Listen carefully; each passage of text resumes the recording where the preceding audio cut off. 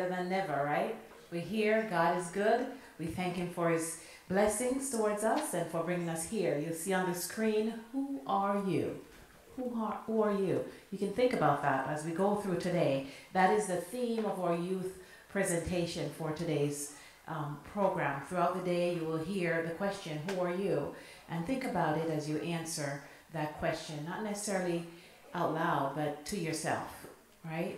Um, the rest of the week. And he said unto them, The Sabbath was made for man and not man for the Sabbath. Mark 2 and verse 27. The Sabbath was made for all mankind and was instituted in Eden before the fall of man. The Creator called it my holy day in Isaiah 58 and verse 13.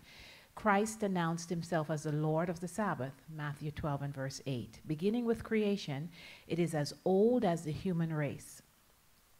And having been made for man, it will exist as long as man shall exist. Amen. Amen. Let us pray. Okay, let us bow our heads.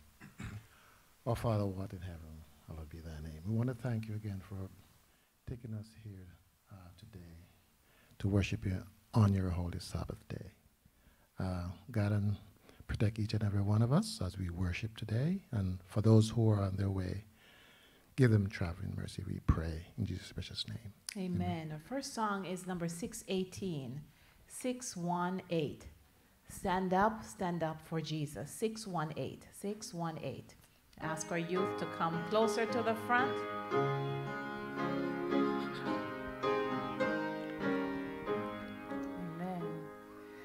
Stand up, stand up for Jesus, ye soldiers of the cross. Lift high his royal banner, it must not suffer loss. From victory on to victory, his army shall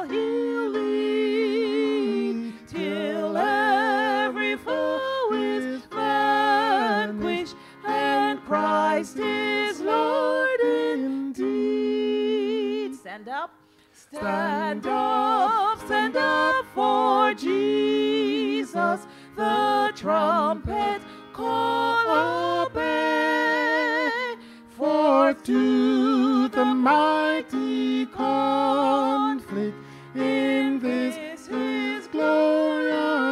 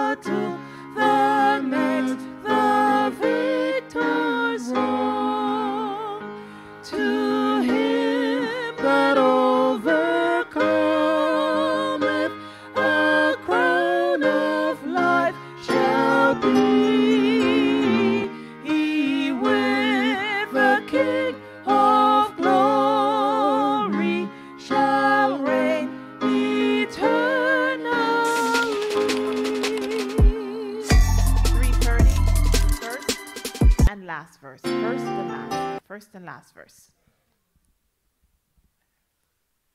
Number 330, first and last.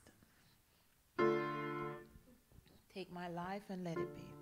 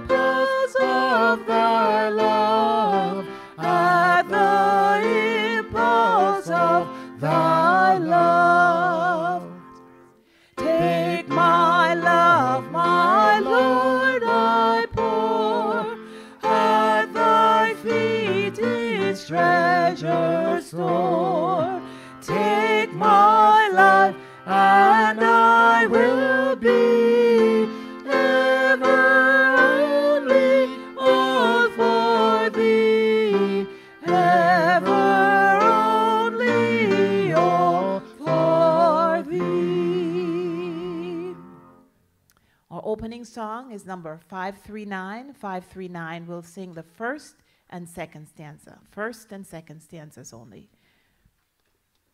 539, first and second stanzas only. Please stand. After which our superintendent will take over. I will early seek the Savior. I will him each day. I will follow in his footsteps. I will walk the narrow way. For he loves me, yes, he loves me. Jesus loves me, this I know. Jesus loves me, died to save me. This is why I love him so. Second stanza. I will hasten where he bids me. I am not too young to go in the pathway where he leadeth. Not too young his will to know. For he loves me, yes, he loves me. Jesus loves me, this I know. Jesus loves me, died to save me. This is why I love him so. Please be seated. Our superintendent is Khristopher Rampersaud. He'll now take over.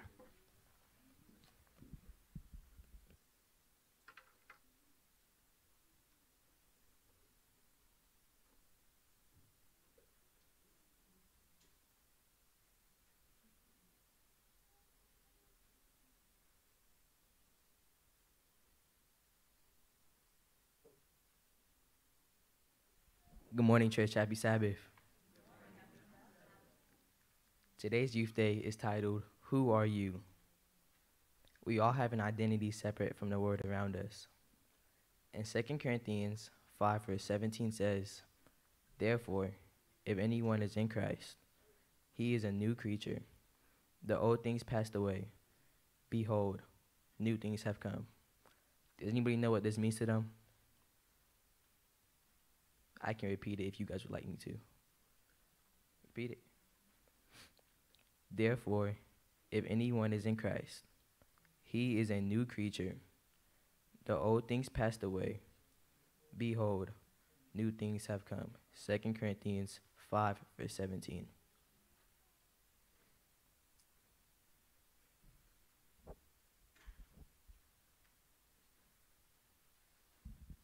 Um, for me, that tells me that um, in my life, before knowing Christ, I lived a certain way, I thought a certain way.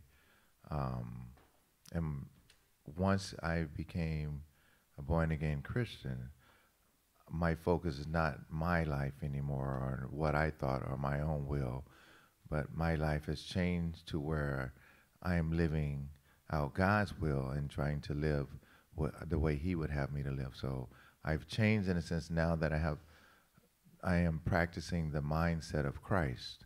So now, uh, moving forward in my life, that's that's where the big changes come in.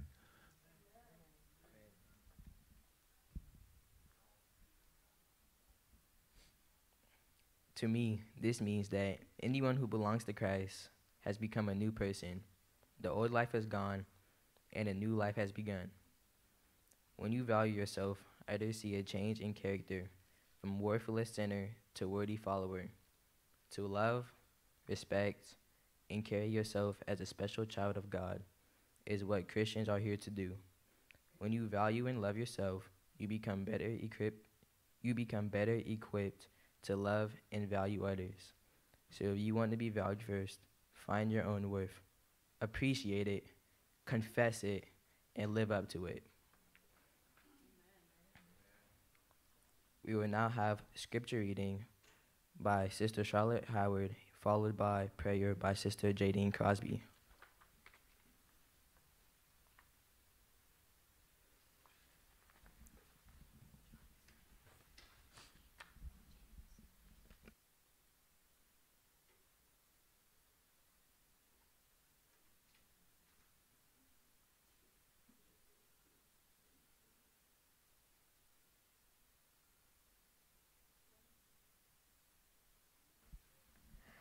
Let us pray. God, thank you for another day. Thank you for letting us be able to come to church and to do your worship. And for those who are still coming, I hope you could protect them on the way. And I hope you could help us to learn more about you. Just name I pray. Amen.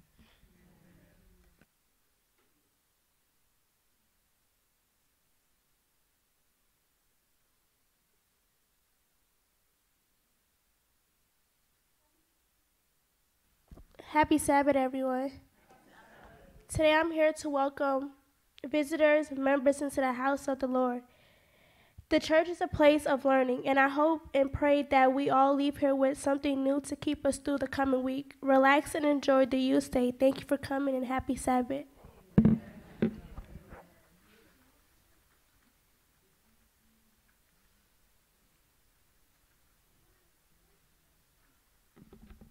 Good morning and happy Sabbath, everyone. My name is Jodie, and I will be doing our mission story for this morning. So, this mission story's title is titled Out of the Supernatural. So, for Oleg, getting married meant more than gaining a companion and friend, it meant living with someone with fantastic powers. He learned about his wife's powers when she offered relief from his constant headaches. Would you like me to put my hand on your head? Sveltana asked.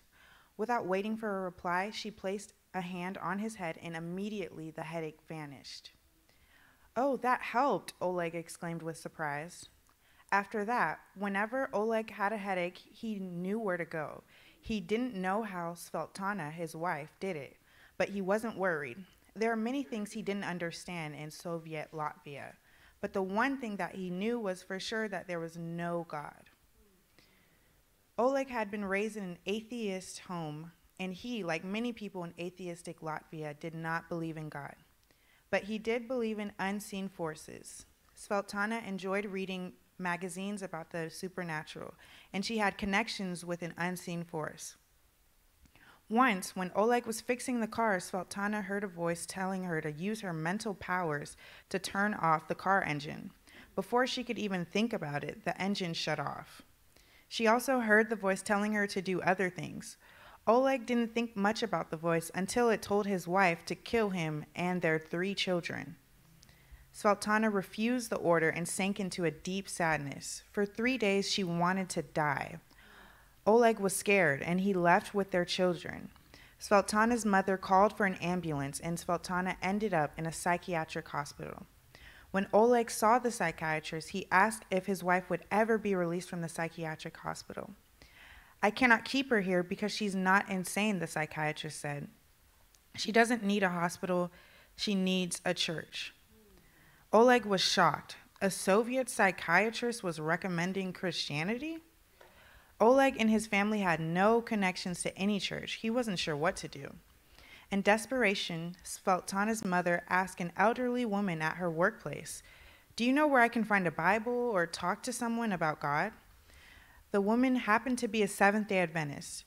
Of course I know, she said. My pastor can speak with your daughter and give you a Bible. When Sveltana was released, she and Oleg went to the pastor and described their situation. The pastor had no doubt that evil forces were at work. Pray and God can deliver you, he said, and you also must come to church. Sultana and the children started going to church. In three months, she was baptized. Oleg was relieved that his wife found peace, but he wasn't really convinced that there was a God, or that he needed God, anyways. Sometimes he made fun of Sultana and their children for praying, and he also asked why they went to church every Sabbath. Come and see, Sultana asked. Oleg went finally, and he liked what he saw. When the pastor offered to study the Bible together, he agreed. Then he gave his heart to God and was baptized. Later, all three of their children were also baptized. Now, I am a pastor of the church, Oleg says. I never thought that I would be a pastor.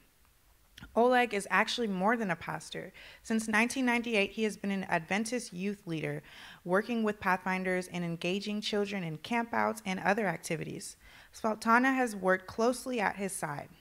Oleg will help oversee this quarter's 13th Sabbath project in Latvia's capital, Riga, a center of influence where Pathfinders, children, and families can participate in language classes, sports, and other Christ centered events. Thank you for your generous offering today that will help this project and a youth camp for Pathfinders in Montenegro.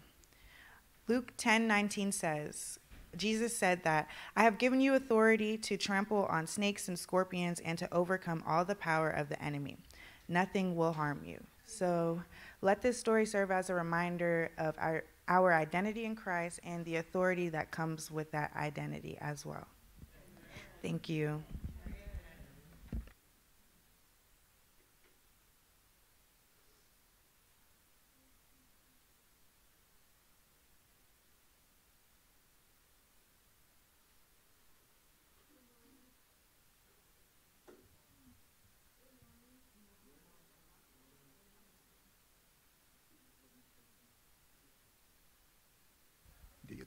Okay, good morning and happy Sabbath.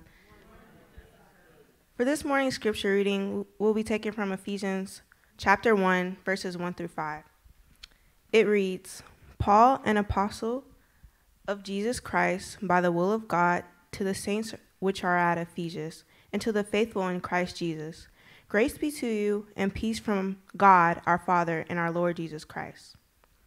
Blessed be to Blessed be the God and Father of our Lord Jesus Christ, who hath blessed us with all spiritual blessings in heavenly places in Christ, according as he hath chosen us before him in the foundation of the world, that we should be holy and without blame before him in love, having predestined us into the adoption of children by Jesus Christ to himself, according to the good pleasure of his will. Amen.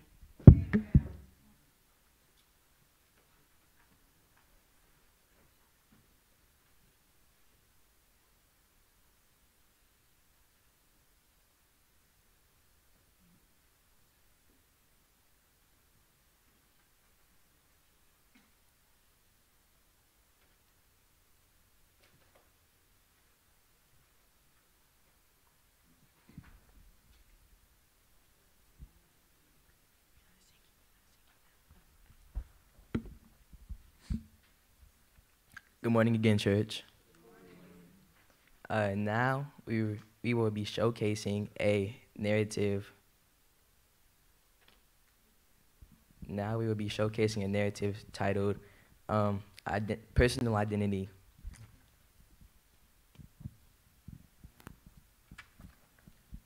The next day, Jesus decided to go to Galilee. He found Philip and said to him, Follow me. Walk with me. Listen to me. Learn from me. Now Philip was from Bethsaida, the city of Andrew and Peter. Philip found Nathanael and said to him, We have found him, of whom Moses in the law and also the prophets wrote, Jesus of Nazareth, the son of Joseph. Nathanael said to him, Can anything good count- come out of Nazareth? Philip said to him, Come and see. See for yourself. Make an educated guess. Seeing is believing. Jesus saw Nathanael coming towards him and said of him, Behold, Behold. Behold, Here it comes. What do you mean? Every time the Bible says behold, something amazing is about to be done. or said. Behold. It is a powerful word. It gets your attention. It screams, something important is about to be revealed. Behold. behold. The word occurs 1,103 times in the entire Bible. How do you know? Actually, I don't want to know.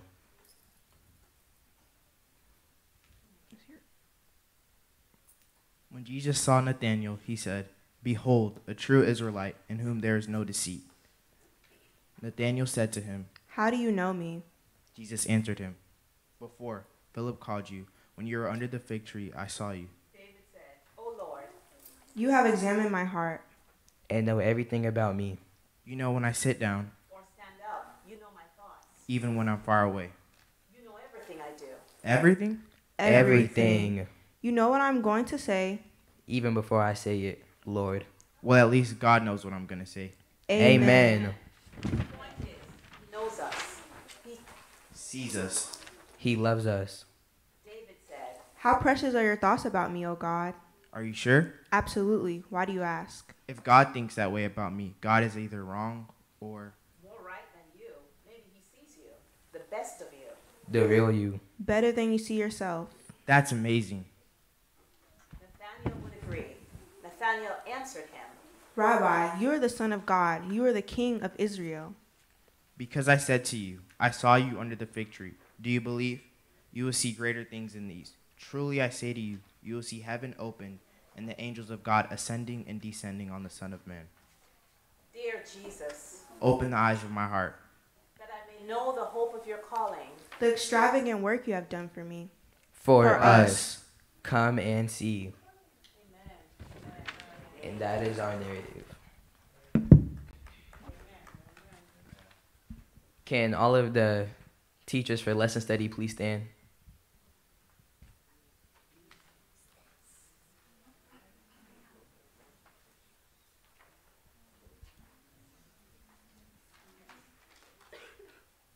Uh, can you please pray for us?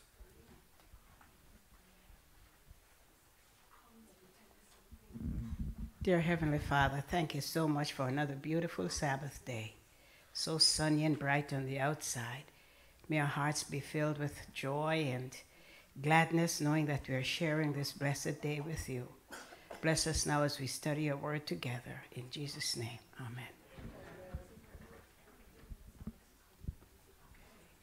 Okay, we are now breaking out into our uh, lesson study classes.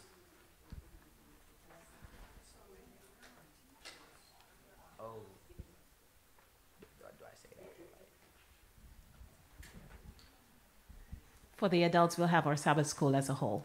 Elder Smith or Sister Olay will be both will be your teachers. Thank you.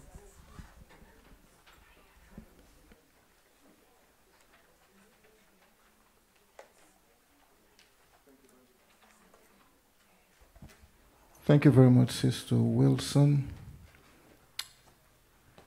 And let me give a big shout out to our youth for leading out this morning. Um, we are to indeed encourage and try our endeavor best to nurture and share a close relationship with our youth because, as you all know, they are the elders and teachers and preachers of tomorrow. And uh, it is our duty to get them ready. Amen? Amen. Amen. Elder Thomas was supposed to be here this morning to have Sabbath school. Unfortunately, he is absent, and therefore, Sister Ruby and I will team up and um, along with you. So please let us have a good lesson study. Father in heaven, I thank you, dear God, for this moment to be in your presence, to share your word with your children. I pray that as Sister Ruby and myself attempt to explain or to just to facilitate this lesson study, your Holy Spirit will take full control. This I ask in the name of your Son, Jesus the Christ. Amen. Amen. Amen. This morning, happy Sabbath. This morning, we are going to be looking at lesson 14, and this lesson concludes this quarter's lessons. We have been focusing our attention on the book of Ephesians.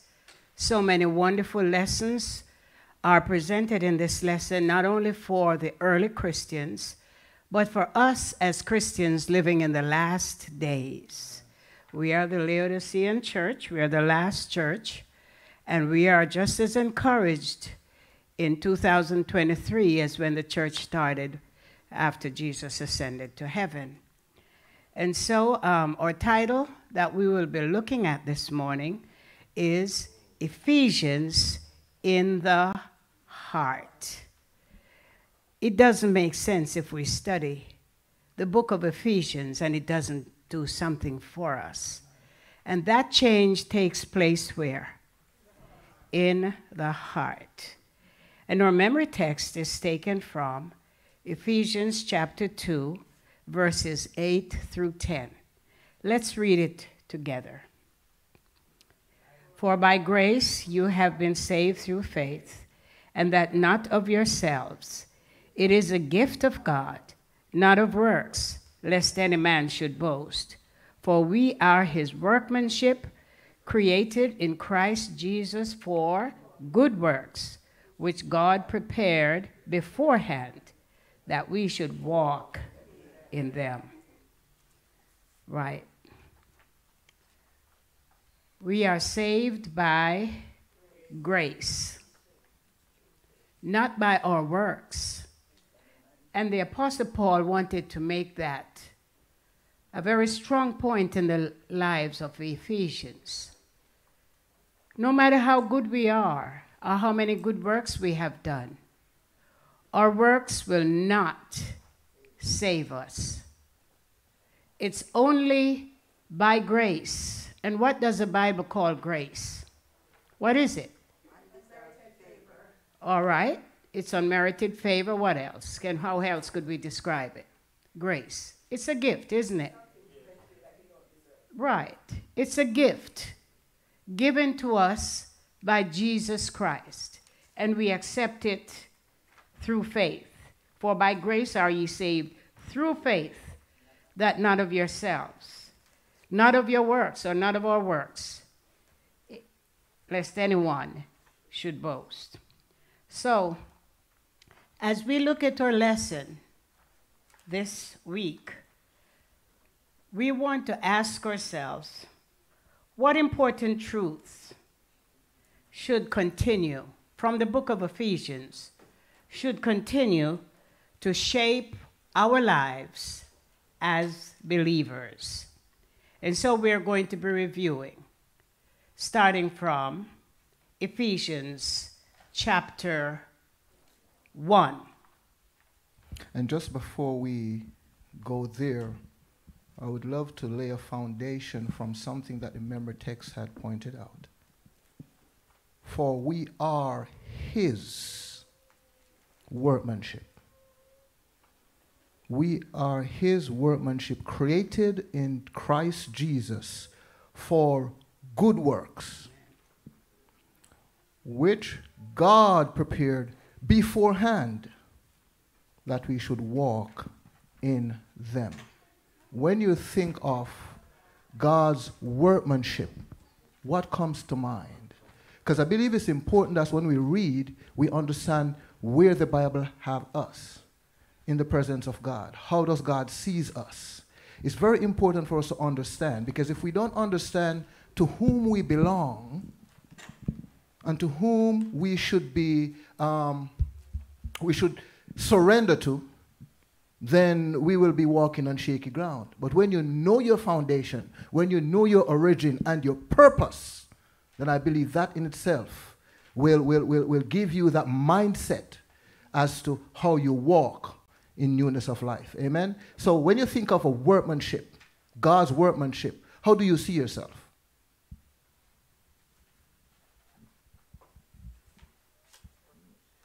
Anyone? You are God's workmanship. What is that saying about you in the sight of God? For me, I would say that I was born in sin and shapen in iniquity. My true nature is to do the things that are not pleasing to God. but because of His working on me, and I have accepted Him, um, my behaviors uh, I have changed, and I press on to do the things that pleases Him and give glory to Him. So, in light of what she just said, she of herself, Smith of himself, cannot walk in that newness of life on his own or on her own. It is the work of God in you, but it calls for something from you. And that is first believe, surrender, and obey. And if you can do that, allowing God to work in you, then this war, though seems difficult, there will be nothing that you cannot accomplish when it comes on to walking with Christ. Amen? Amen. So, lesson one, uh, Sunday's lesson, talks about we are blessed in Christ. As we look at ourselves as Christians in the 21st century, individually, how, do, how are we blessed by Christ? Mm. How? What blessings are we enjoying as a result of the death of Christ? Anybody? One, we are here today on the Sabbath. Plenty, plenty, plenty, plenty blessings. That's one. Just name one. I heard what? Life. Life, the gift of life. What kind of life? Is it just this life that we're experiencing, or is it beyond this life? This and beyond. Because the Apostle Paul tells us, because if it's only in this life we, we have hope, then we are of all men most miserable. Yes, so God has given us the gift of life and we are enjoying that. Praise the yes, Lord. I wanted to say that um, it is good to have eternal life, and Yes. that is good. Yes. But uh, when we say life, it is because we are now living. We can hear what you say, we can come to church, we can uh, just pray, praise God. Praise the and Lord. Then, then this, this eternal life is meaningful for us who are living today. Yes. You know, there's so many people passing away these days, young, old, and in everybody. So the gift of life, the fact that we're in the land of the living, is a tremendous blessing. How else are we blessed in Christ? Are we chosen by Him? Are we? We are cho- His chosen. When, when did He choose us? So that break that down for us. When were you chosen? Cho- chosen. Before you were what? Before you were born. So coming into this world and the gift of eternal life was promised to us even before we were born. But is it, it is on condition, is it? What condition? What are the conditions for eternal life? Exactly. Belief is, is, is very important. We also need to confess with our mouths that Jesus Christ is Lord, isn't He? And what else? Can you think of anything else? If we accept Him today and we turn our backs on Him next tomorrow or the next year, will we be um, able to enjoy these blessings that God has provided? So, what does He call us to do? We need to be what? Not only do we repent, but after repentance, we should remain how? Faithful. We should remain faithful. It does not make sense after we have enjoyed this wonderful fellowship with Christ, after the many blessings that He has poured down upon us. And when things are going well and things just look bright and rosy, we give up. Knowing very well that the days of men are only how many years? Three score years and ten. And by reason of strength, we may go a little bit further. But the end result is we are going to be out of this land of the living. So we are chosen, and as long as we're chosen, and God has given us the blessings of health and strength and life, we need to use those gifts to glorify Him. And one of the reasons why it's so important that we surrender our entire being to glorify God, as uh, Sister Ruby had pointed out. It, it brings me back to creation. Before all of this put in place, God thought about you and I. And instead of creating us, then everything, he do the opposite. Provision. He provide for us before he place us here. Which brings me to a text that Christians often forget. Because he provide for us before he place us here, he has a right to say, seek me first. And in seeking me first, I think it's the only seeking you need to do. Because once you have Him, you have everything else. So, first here, I will change it and say, seek Him alone. Not to take away from the Word of God, but just so we understand where my mind is when it comes on to surrendering to God. He placed everything here for us, so we have nothing to worry about except to seek Him first. And then all these things, what things? The things He already prepared for who? For you. Then it will be given to you. And therefore, that we need to be very, very mindful of. That text so often overlooked, and we need to pay attention to it.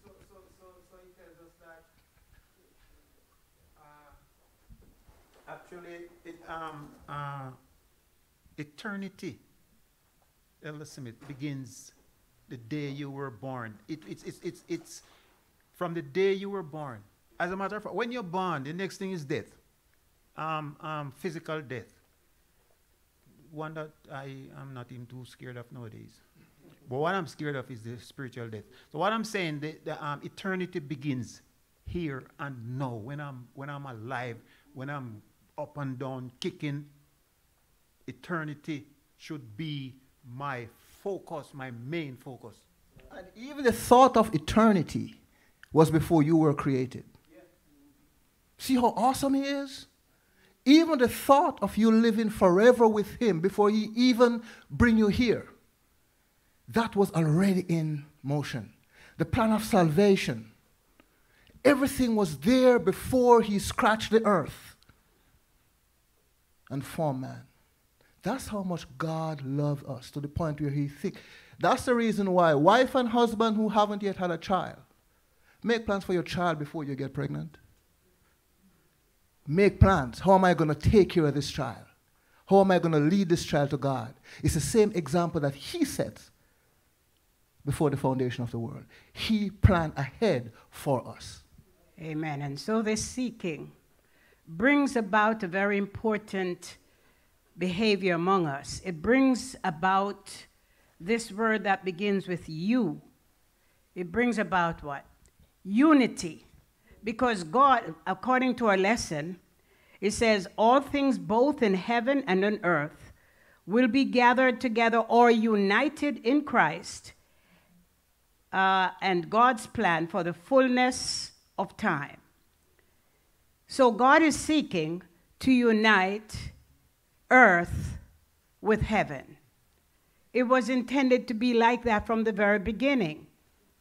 Unity between us and the angels. But we have forfeited that because of sin. But we have we are tremendously blessed by Christ by being in him. Everything that we ask for, he says, he will give it to us. So it pays us to be to stay with him and be united with our Lord. Not only should are we chosen by God, but what else has he done for us as far as Monday's lesson is concerned? He has redeemed us. How did he do that? By his life, his death, and his resurrection. Because at one time we were described as being what? In our trespasses and sins. What were we like? We were dead in our trespasses, dead So something has to quicken us, something has to make us alive. And what is that thing? The blood of Jesus, isn't it? The blood of Jesus that he shed on Calvary unites us, redeems us, and has uh, resurrected us from our dead condition. And he has promised us, like my brother said earlier, eternal life. It begins now, not hereafter, but our eternal life begins when? Now. We are enjoying eternal life even now. So that is, how do we know that? Because we're still alive? We're still alive. Okay, how else could we tell that we enjoy, we are enjoying eternal life even now? What happens when we die or we go to sleep? Do, all right, our thoughts are perished, but what else happens?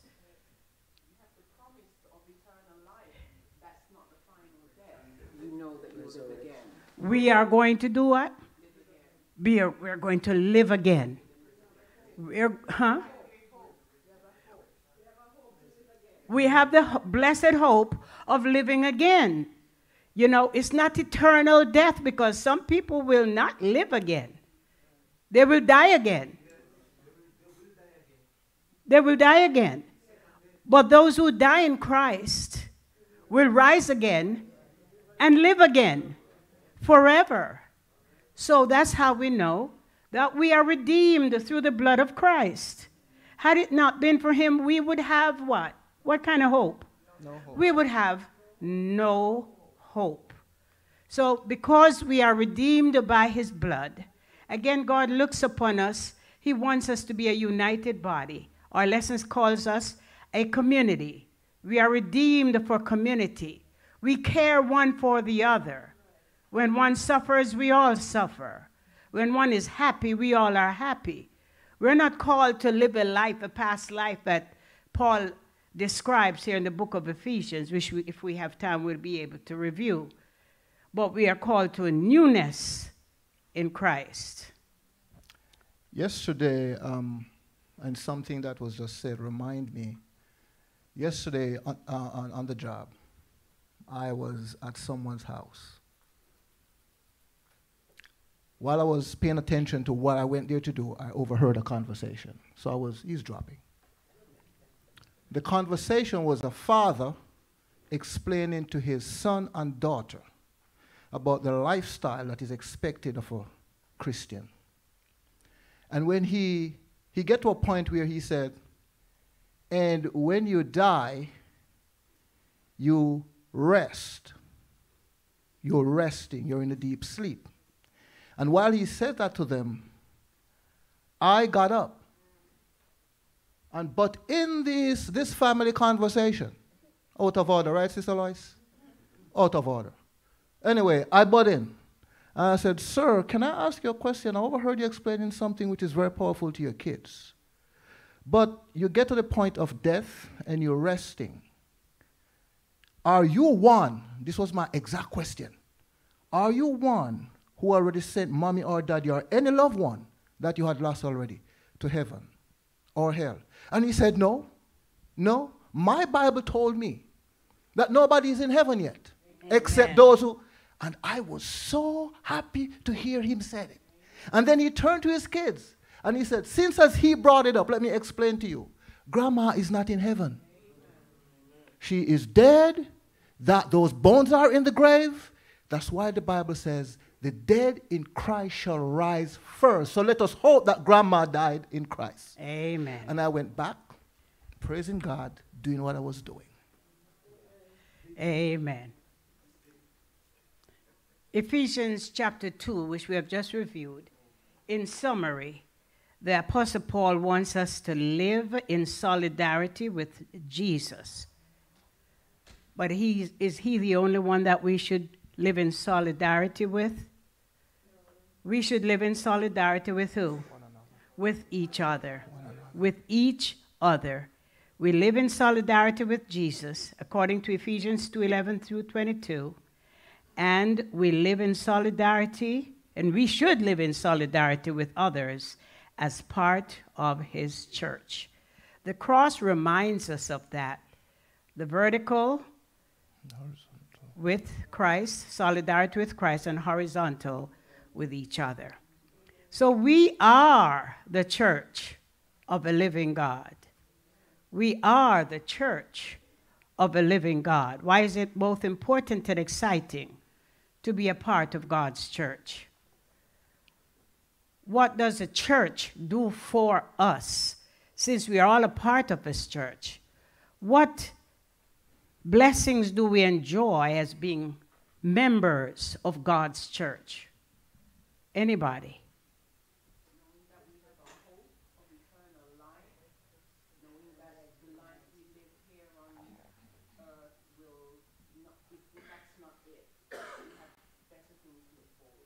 Okay? Yes, it helps us to realize we have a hope of eternal life and we're settled in that truth. It empowers us to do what? What does the church empower us to do? To live what kind of life? Holy lives. What else? Come on now. We all are church members. We all belong to this great church, the body of Christ. Why? What are we called to do? Why are we chosen? We are co- to fulfill, like somebody said over there, the Great Commission, to fulfill the Great Commission, which is to tell others about this blessing of being a part of His body, right? And then, after this message has been brought to the world, what will happen? The end comes, the end of this world.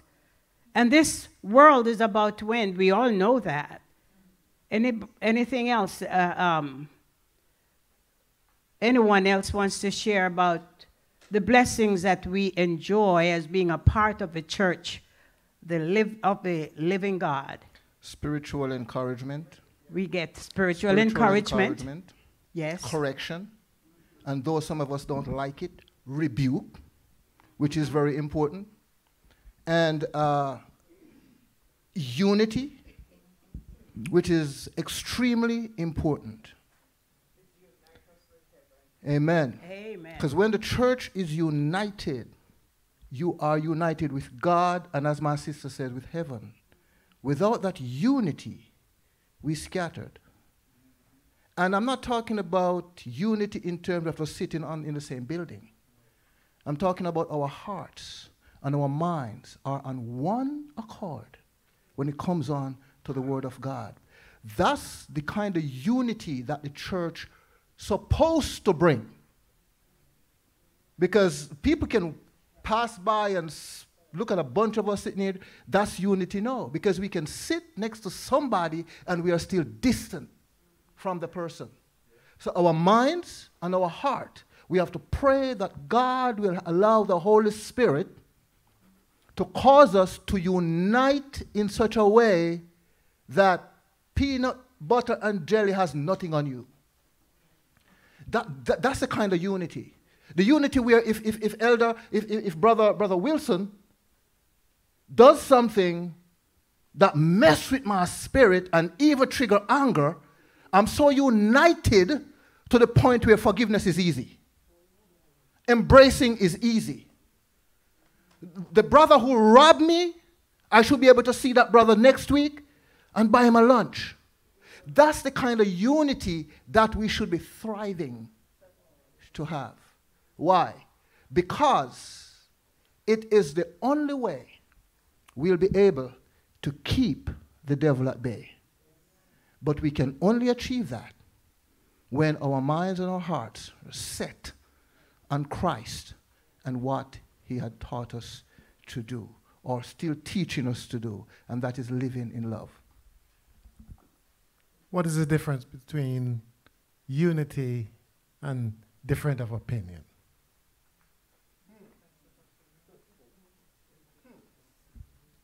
Difference. Somebody has a hand up over there. I think the differences of opinion is where the division starts. To start with, you have deviated from godly instructions. Trust in the Lord with all your heart. It doesn't say uh, generate opinions, formulate opinions. The formulation and the generation of opinions is when we think God has not supplied enough and we want to think out the situations ourselves to, avo- to avoid following the instructions toe to toe.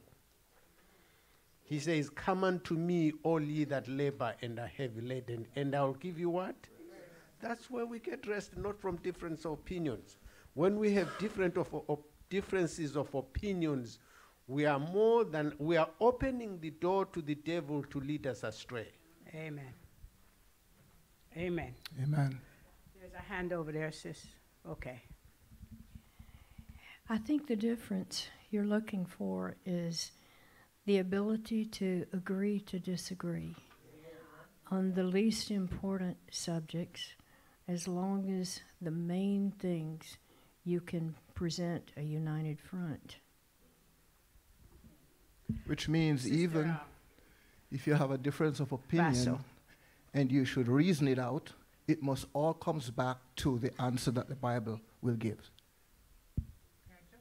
Want to emphasize um, difference of opinion. We will always have difference of opinion. It's okay to have difference of, of opinion. But when it comes to a community such as this, even if you have difference in opinion, the majority always counts.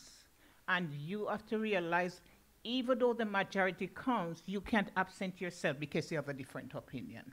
You're to be a part of the whole body, anyhow. That's, that's us uniting in Christ Jesus.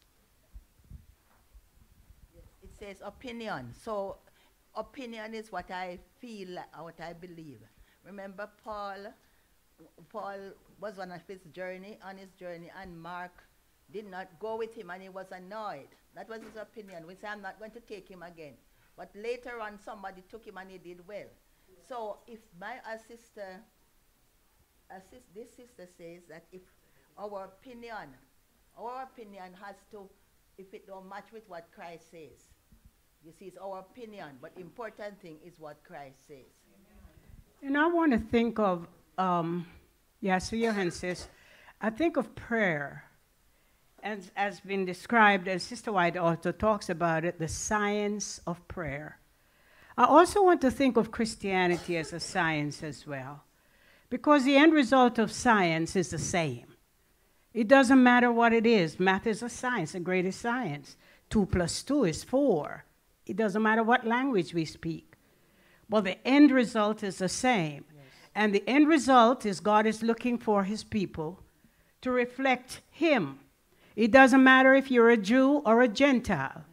And that's a mystery, the mystery of godliness. But nevertheless, the end result is the same for everyone. Yeah, uh, I want to approach the, the, the topic of unity as our body. On our body, we have eyes, a small organ. We have the stomach, that is big with the, uh, those who, uh, the, the organs that are around it. But the, the stomach will not say the eye is too small. So, and then say something negative about it. It's about the, the body. So, Yes. what I can do, what my small finger can do, what my leg can do, what my big back can do. So it's about the unity. How I see things, how you see things may be different. As she's saying, from Africa, from Jamaica, from America, we may see things differently. But if we have that unity that comes only from Christ, unity will be there. Good, and that is re- results in the unity of the F-A-I-T-H, the faith. It doesn't matter what country, and that's what makes us the, the, the Christianity is such a beautiful thing. Yes, I wanted to say that uh, when you are you, we are united in adversity, we'll be able to understand each other and complete each other. Because imagine God created us the same way, the same culture, the same language. Yes. That would be a, hell, to be a hell. But he wanted us to have different opinions that describes very well that we are different but united in Christ. In Christ. In Christ. Because we all are individuals, we have our own individuality, we have our own questions. And so it's important, though, that we be, we be united in faith. In faith. We are not against this great um, body or, or, or theology that we all accept through Christ. We are united in that. And so there should be no division. The Apostle Paul did not expect to have any schisms or divisions among the people of God. So let's keep that in mind that we are united. We are one body in Christ. In Christ. And he wants to unite heaven with earth. It was like that before sin came into this world, and it needs to be returned to that. And it has been promised to us that things will be made all new again, and that bond of fellowship and unity will continue throughout the ceaseless ages of eternity. It's Youth Day, so at this time we'll um, we will turn it over to our youth department. Thank you so very much.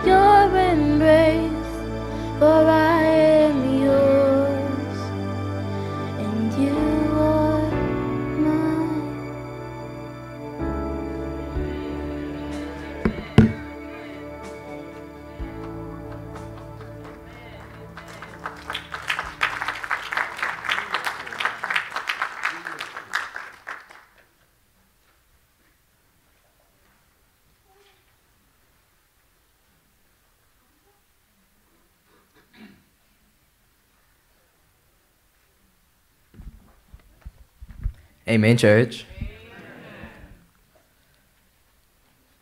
So, hmm, today is titled, well, as you guys know, Who Are You? So I'm just going to read this little thing so that you guys could keep it in mind with you guys as you guys go on throughout the day, but not just today, but for the rest of you guys' life. And it says, And that is who I am, a son or a daughter of God.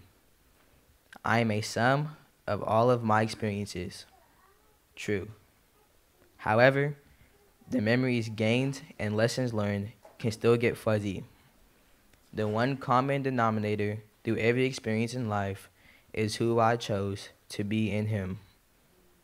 My identity is no longer in Christ, knowing that this one label will always apply.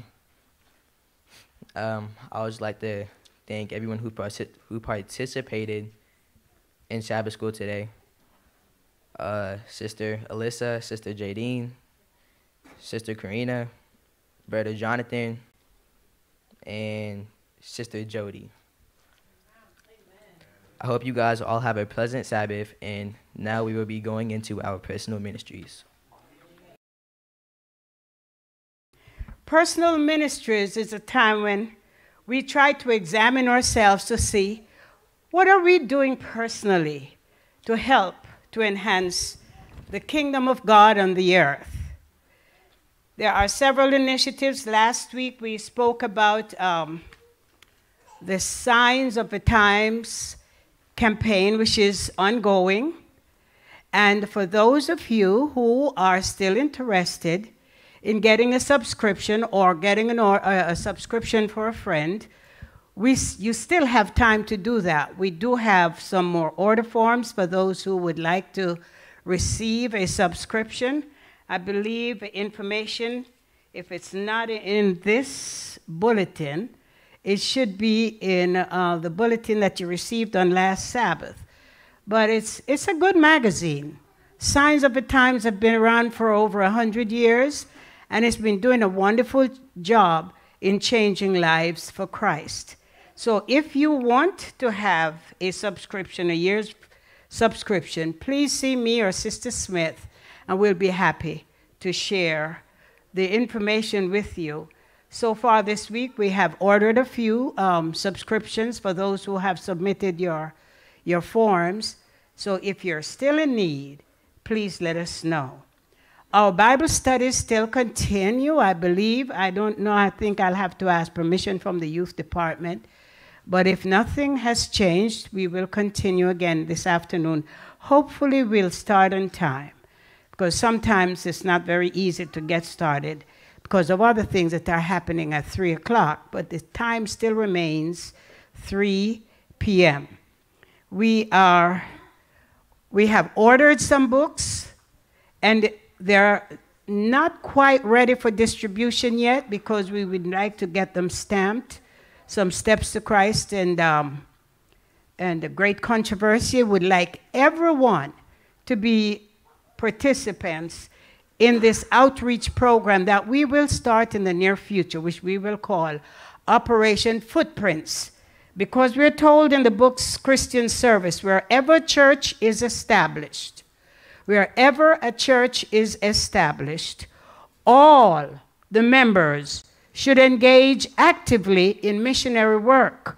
They should visit every family in the neighborhood and know their spiritual condition.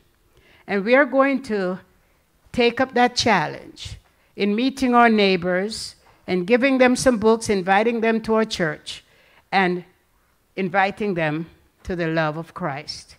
So be prepared for when we launch this particular initiative that you will be a part of it. We do look forward to the cooperation of every member in our community. So, um, if there are no further um, announcements or highlights from any departments, we are just going to bring our personal ministries at this point to a close.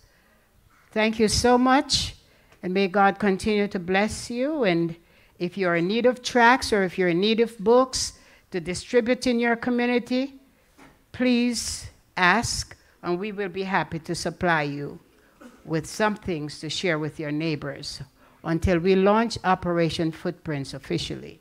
Thank you, and God bless all of you. Amen.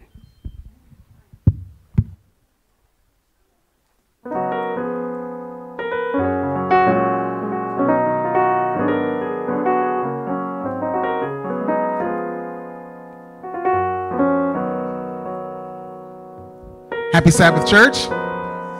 Happy Sabbath, church. We're going to go ahead and sing a few songs together as we get ready for our divine worship. Let's turn our hymn list to hymn number 422. We are marching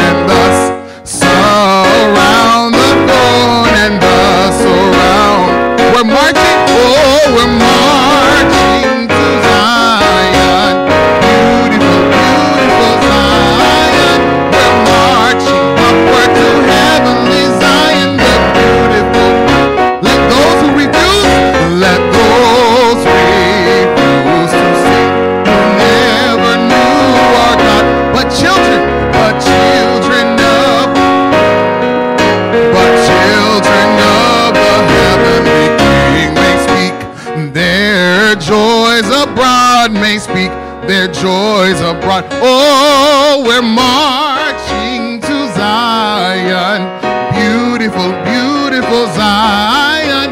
We're marching upward to heavenly Zion. The hill of Zion, oh, the hill of Zion yields a thousand sacred sweets before we reach the heavenly fields, heavenly fields, or walk those golden streets, or we're marching, oh, we're marching to Zion. Beautiful, beautiful Zion. The, then let our songs, oh, then let our songs abound and every tear be dried. We're marching through Emmanuel's ground. We're marching through e- to fairward, to fairward, worlds on high to fair. We're marching, oh, we're marching to Zion. Beautiful, beautiful Zion. We're marching upward to heavenly. We're marching, oh, we're marching to Zion. Beautiful, beautiful Zion. We're marching upward to heaven. Let's do that chorus one more time. We're marching, oh, we're marching to Zion. Beautiful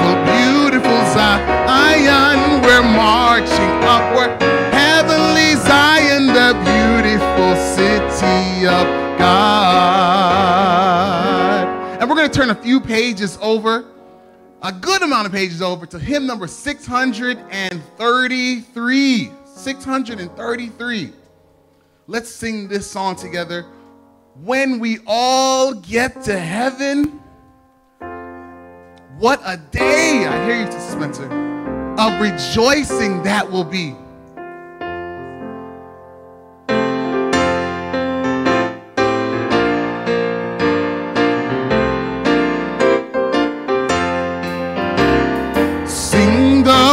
Wondrous love of Jesus. Sing his mercy and his grace. In the mansions bright and blessed, he'll prepare. When we all get to heaven, oh, when we all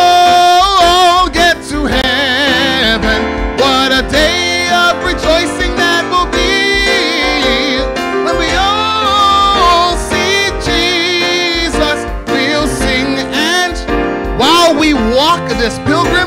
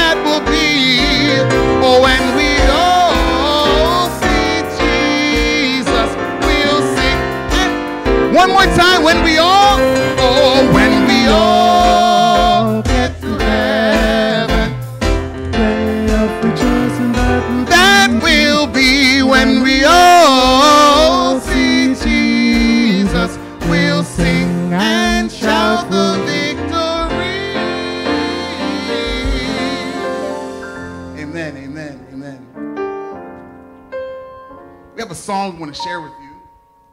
A song that I know you're very, very familiar with. Song is simply Victory is Mine. How many of you guys know that song? Victory is mine. How many guys are claiming the victory today? I was listening to a message on yesterday by Pastor Wintley Phipps. We have to praise God now, even in the middle, because guess what? We've already won. We have victory. So let's sing this song together. Victory is mine. Victory today is mine. Victory. Victory is mine. Victory is mine.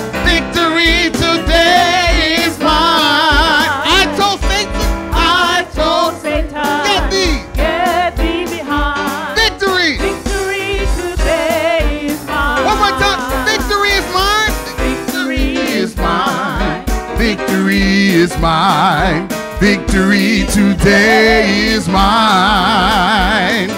I told Satan, get thee behind.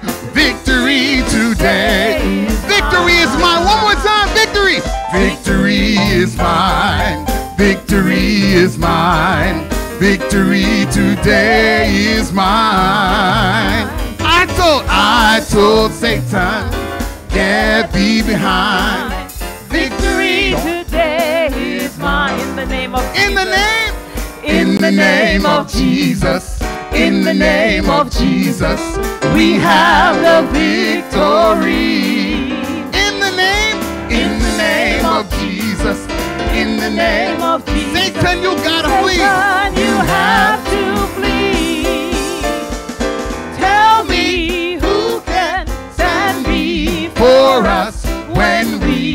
call on that great name, Jesus, Jesus, precious Jesus.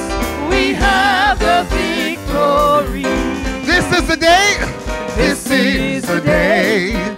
This is the day that the Lord has made. That the Lord has. Made. I will rejoice. I will rejoice. I will rejoice and be glad in it. And be glad in it. This is the day that the Lord has made. I will rejoice and be glad in it. This is the day. This is the day that the Lord has made. In the name of Jesus. In the name of Jesus. In the name of Jesus. We have the victory. In in the name of Jesus. In the name of Jesus. Satan will have to flee. Tell me, tell me who can stand before us when we call on that great name.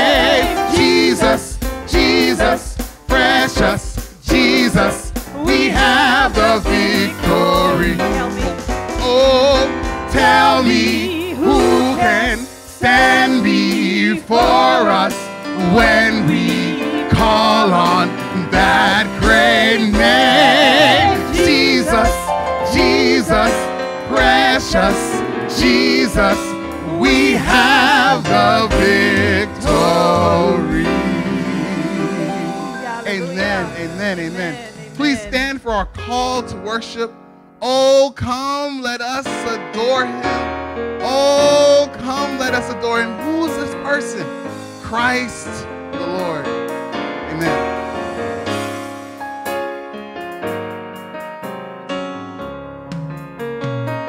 Oh, come, oh, come, let us adore.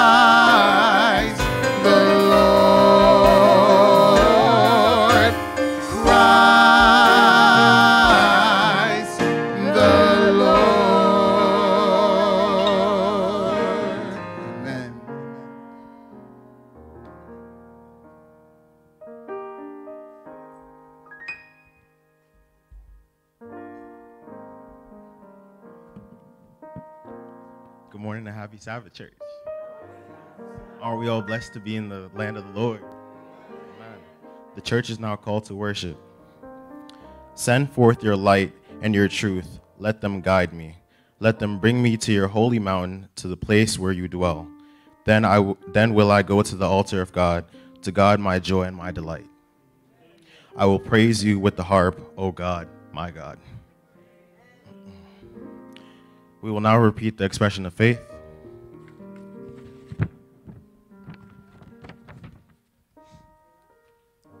Remember the Sabbath day to keep it holy. Six days shalt thou labor and do all thy work. Seventh day of the Sabbath, the Lord thy God. In it thou shalt not do any work, nor thy son, nor thy servant, thy manservant, nor thy maidservant, nor thy cattle, nor thy stranger that within thy gates. For the six days the Lord made the heaven and the earth, the sea and all that is in them, and rested on the seventh day, where the Lord blessed the Sabbath day and hallowed it. That he gave his only begotten Son, that whosoever believeth in him shall not perish, but have everlasting life. So that this was in the world to condemn the world, but that the world through him might be saved. Amen. Bless the Lord, O my soul, and all that is within me.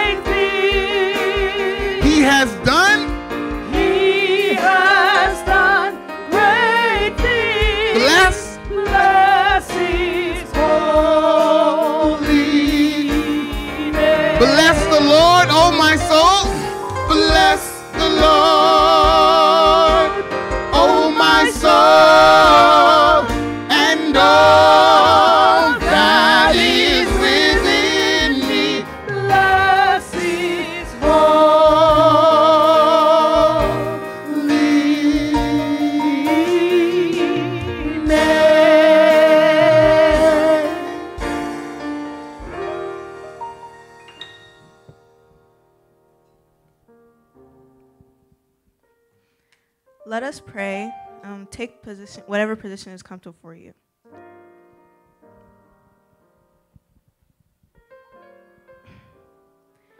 Dear Jesus, you said, Where two or three meet in your name, you shall be there with them. The hour will come and is in fact already here when true worshipers will worship the Father in spirit and in truth. That is the kind of worshiper the Father wants. God is spirit, and those who worship him must worship in spirit and truth. So, so God, let us then hold firmly to the faith we profess. For we have a great high priest who has gone into the very presence of God, Jesus, the Son of God. Let us not lose courage then. Let us hold firmly to God, for we know that we may fall several times, but because of you, Father God, we will always rise up again. Father God, we pray for the sick, the ones in pain and in distress amongst us. Lord, I so humbly ask that you have mercy on them and that you touch them with your healing grace to restore them to health. Father God, we come before you to lay our panic and anxiety at your feet. When we feel crushed by fears and worries, remind us of your power and grace. Fill us with your peace as we trust in you and you alone. For we know that we cannot be whatever it is on our own, but we know that we have you, Lord, and you have already paid the ultimate price to carry our burdens. And for this, we thank you. Father God, we thank you for your amazing power and work in our lives. We thank you for your goodness and blessings over us. Thank you for your great love and care, Father God. Thank you for your mercy and grace. Thank you for you are always with us and will never leave us. Lord, thank you for your incredible sacrifice so that we may have freedom in life. Forgive us when we don't thank you enough for all you have given us. Father God, I ask that you renew our spirits and fill us with peace and joy. We love you and we need you this day and all the days to follow. We give you praise and thanks for you alone are worthy. Thank you for hearing and answering our prayers. In Jesus' name we pray. Amen.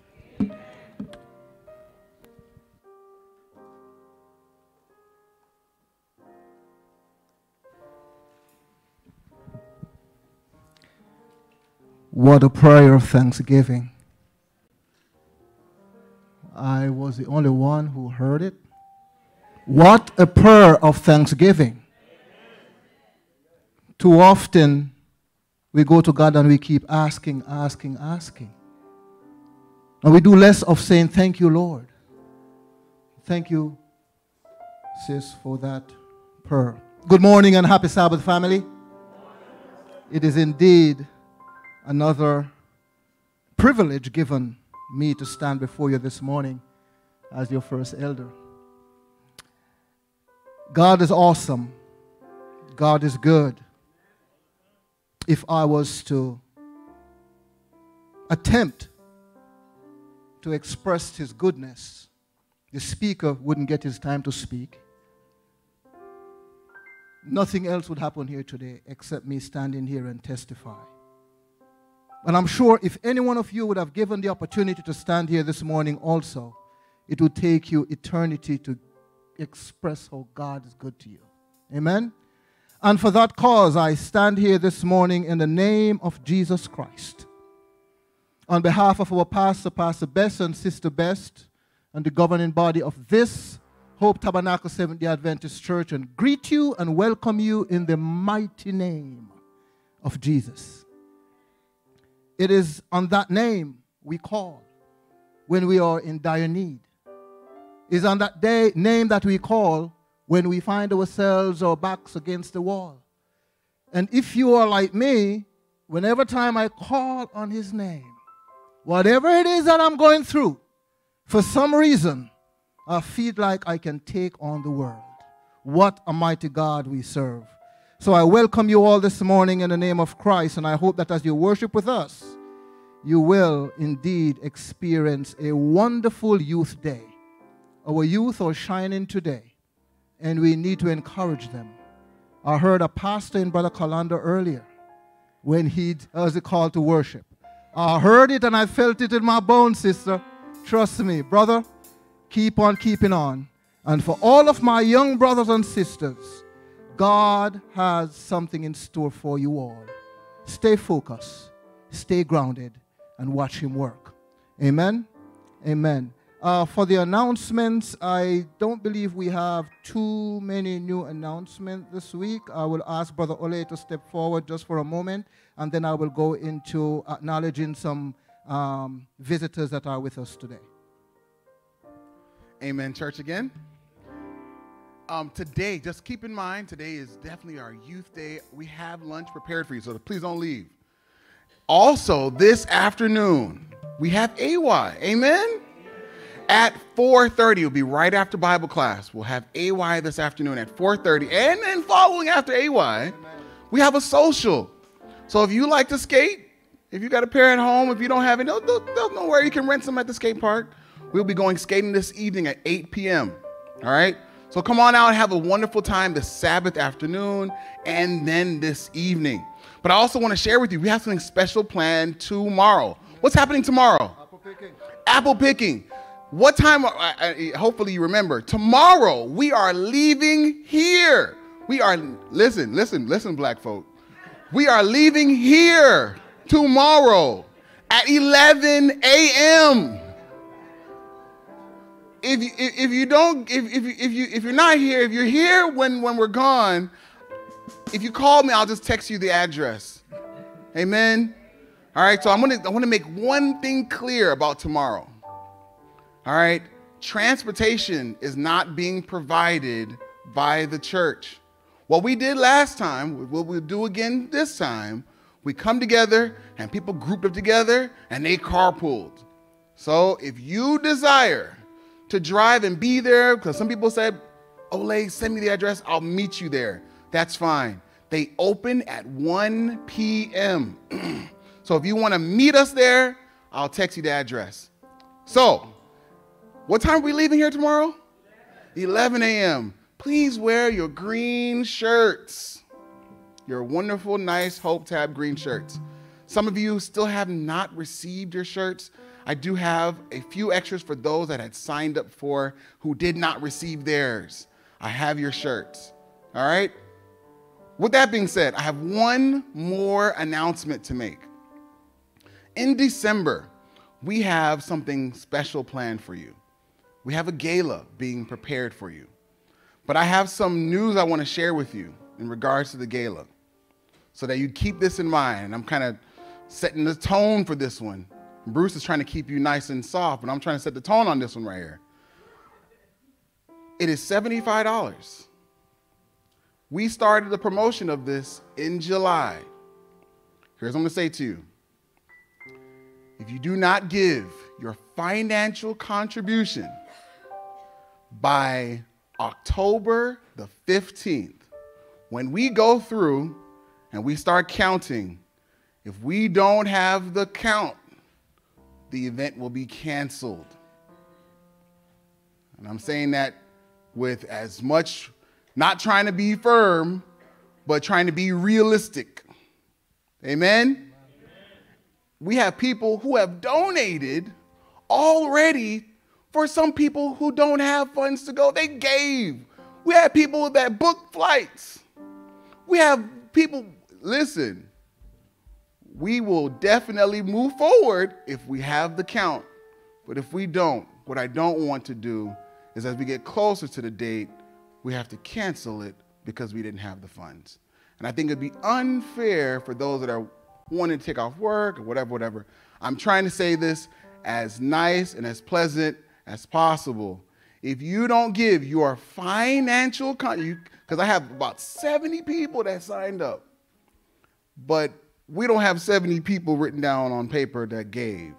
So if you decided you want to do it and you really want to do it, your financial contribution will be you saying, I actually want to go.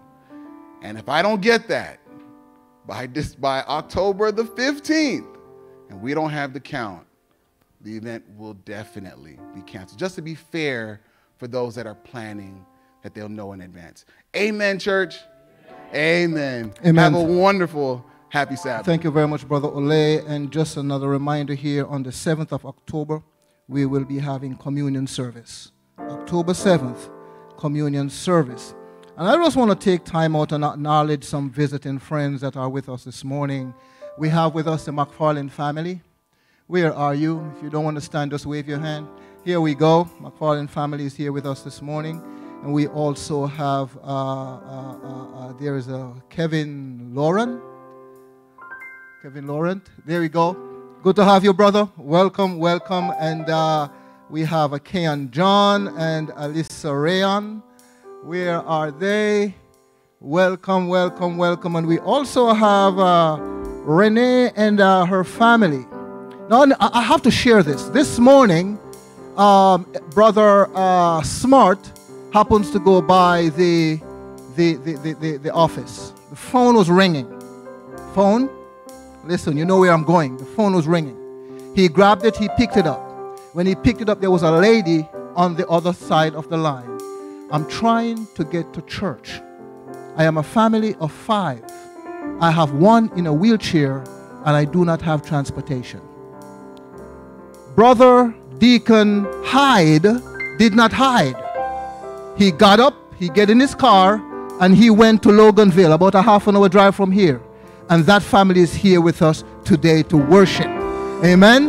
Amen. Amen. We are indeed a loving church. We are indeed a growing church. Let's keep the positivity in Hope Tabernacle because God has called us to be a light and we are going to be that light in this community. Amen. Amen. So, having said that, can my praise team come and welcome with this beautiful song all our visiting friends?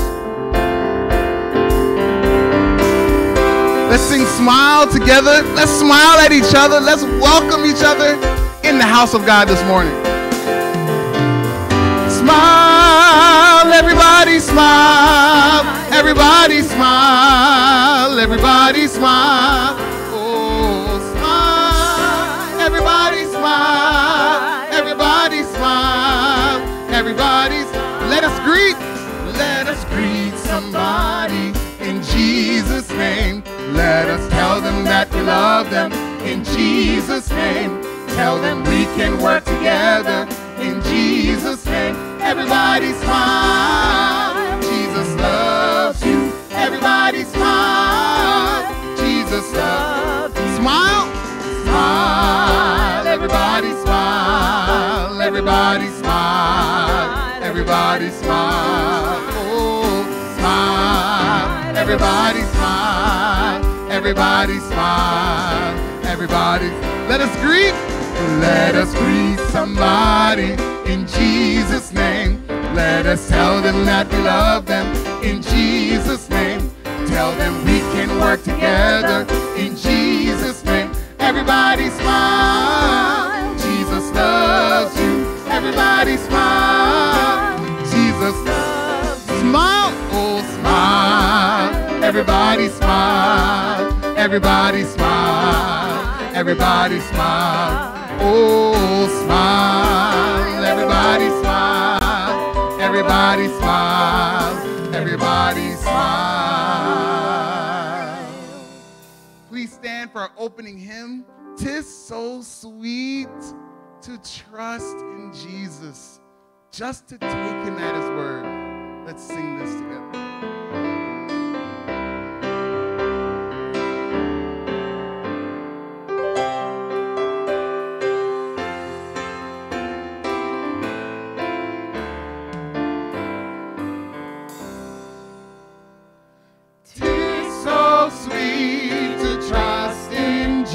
Jesus, just to take him at his word, just to rest upon his promise, just to know that said the Jesus, Lord. Jesus, Jesus, how I trust him, how I prove him more and more. Jesus, Jesus, precious Jesus, Oh, for grace to trust Him Oh, how? more. Oh, how sweet to trust in Jesus. just to trust his cleansing blood, just from Jesus simply taking life and rest and joy and peace. Jesus, Jesus, how I trust him, how I prove him more and more. Jesus, Jesus, precious Jesus, oh, for grace to trust him more. Yes, tis sweet to trust in Jesus, just from sin and self to see. Just from Jesus. Just from Jesus simply taking life and rest and joy and peace. Jesus. Jesus, Jesus, how I trust him, how I prove him more and more. Jesus, Jesus, precious Jesus, oh, for grace to trust him more. I'm so glad I learned to trust thee, precious Jesus, Savior and friend. And I know that thou art with me, wilt be with me to the end. Jesus, Jesus, how I trust him, how I prove him more and more. Jesus, Jesus, precious Jesus, oh, for grace to trust him more. Standing for the scripture.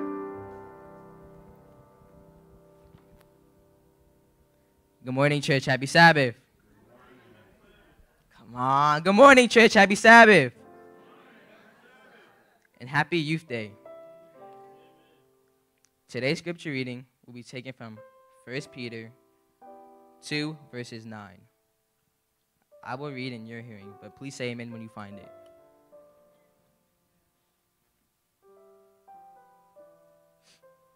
It states, But ye are a chosen generation, a royal, a royal priesthood, and holy nation, a peculiar people, that ye should shew forth the praises of him who hath called you out of darkness into his marvelous light.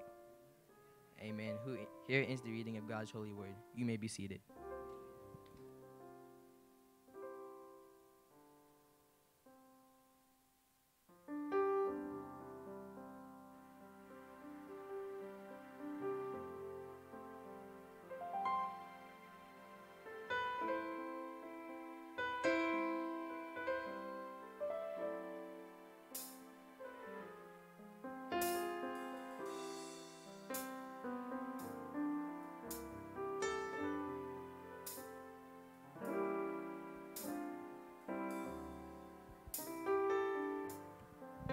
Sabbath, church. Praise God, praise God. We are now doing intercessory prayer. Um, I believe I just pray, right? Okay, okay. So for those who can kneel reverently, you're definitely please so. If not, it's totally fine. Let's pray.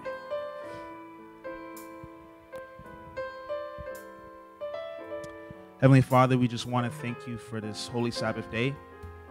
It is a blessing to be here in your presence.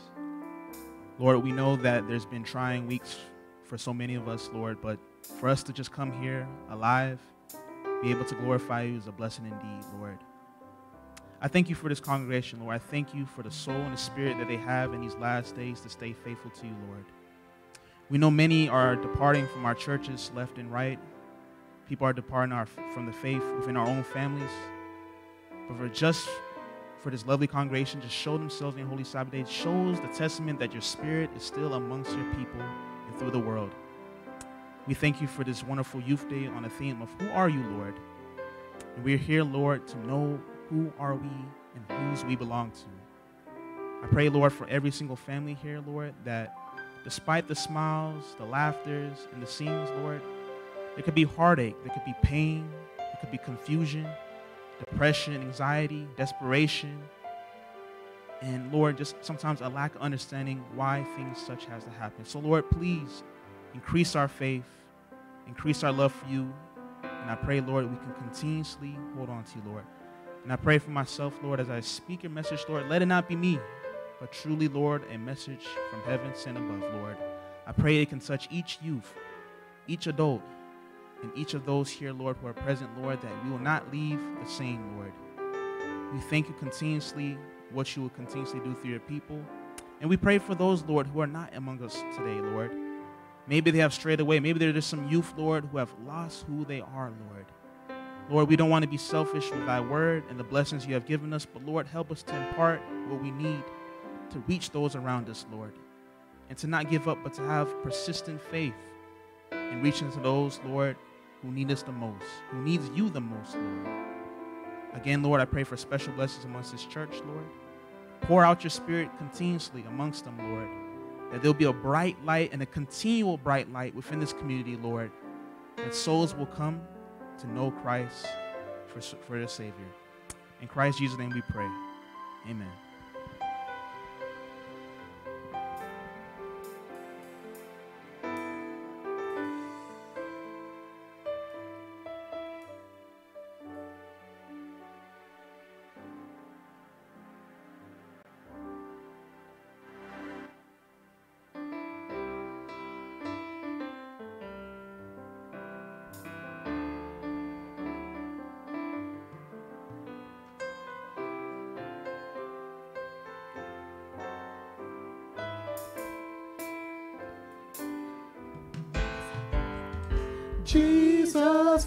The little children, all the children of the world. Red and yellow, black and white, are our precious in his sight. Jesus loves the little children of the world. Pray for all the little children, all the children of the world. Red and yellow, black and white, precious in His sight. Pray for all the little children of the world. Jesus loves the little children, all the children of the world. Red and yellow, black and white, they are precious in His sight. Jesus loves the little children of the world. Jesus. Jesus loves the little children, all the children of the world. Whether they be black or white, they are precious in His sight. Jesus loves the little children of the world. Jesus loves the little children of the world. Jesus loves the little children of the world. Jesus loves the little children of the world. Jesus loves the little children of the world. Jesus loves the little children of the world.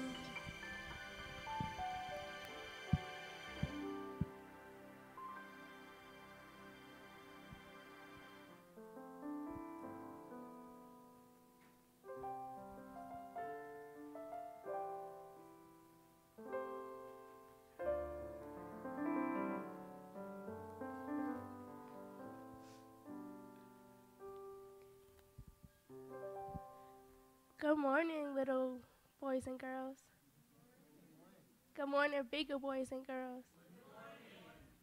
So today my story is Standing Stone. But before we get into the story, I got a question to ask you. Do you guys have a best friend? No? Okay, what's your best friend's name? Paris. How long you knew Paris? Okay, how about you?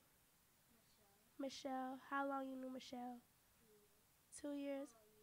Year and a half. Okay, fair enough. Ariane, you have a best friend? Who's your best friend? Uh, okay, that's sweet. Best friend? Who's your?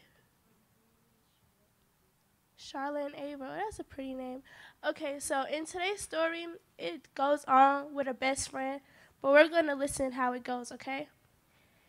Okay. A story tells two friends who's walking through the desert. You know what a desert is? Okay, good. During some point of the journey, we had an argument. One friend slapped the other friend on the face. That's not nice. Don't ever do that to your best friend. Don't even do it to nobody. Okay? The one who got slapped was hurt, but without saying anything, wrote in the sand, Today my best friend slapped me in the face. So, yeah, engraved in the sand. Yeah, that's not nice. They engraved in the sand, Today I slapped my best friend in the face. They kept walking until they found an oasis where they kept to take a bath. The one who had been slapped got stuck in the dye and started drowning. So they started sinking and going under the water. But the friend saved him. After the friend recovered from the near drowning, he wrote on the stone, Today my best friend saved my life. The friend who slapped and saved his best friend asked him, After I hurt, After I hurt you, you wrote on the sand, and now you wrote on the stone. Why? The other friend replied, When someone hurt us, we should write it down in sand where the wind forgive and erased it away. But when someone does something good for us, we must engrave it in stone where no wind could ever erase it. So today, what we learn is write your hurts in the sand and carve your thoughts in stone. So what that means is any bad things, let's write it in the sand so it could be blown away. And you could also ask God to forgive you when you do something wrong and it will go away. And when you do something good, you should engrave it so like people could see the good that you do for other people. Okay, so do we have a prayer for today? Come on.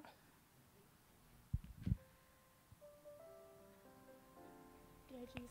Dear Jesus, please help us to be better people. to be better people. And forgive us from our sins. Forgive us for our sins And be respectful. and be respectful. And don't slap our friends. Don't slap our friends. And be nice. and be nice. Amen. Amen. loves the little children, all the children of the world. Whether they be black or white, they are precious in His sight. Jesus loves the little children of the world.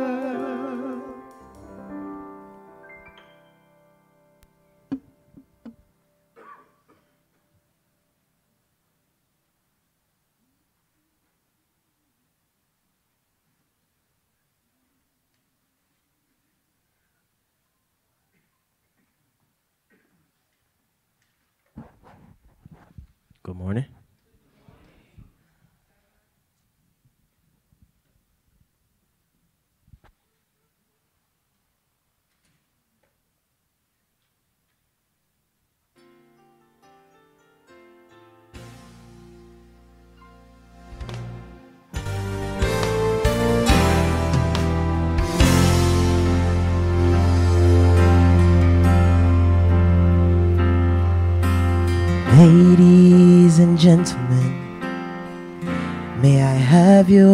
attention? I want to introduce to you here in this corner of the good and the right stands a champion robed in white. His height exceeds the heavens, his weight outweighs the world. His reach reaches everywhere, his age is evermore. He is higher than the highest, he's greater than the great. No one would ever take his crown away. God is more mighty than the mightiest, and he reigns from above.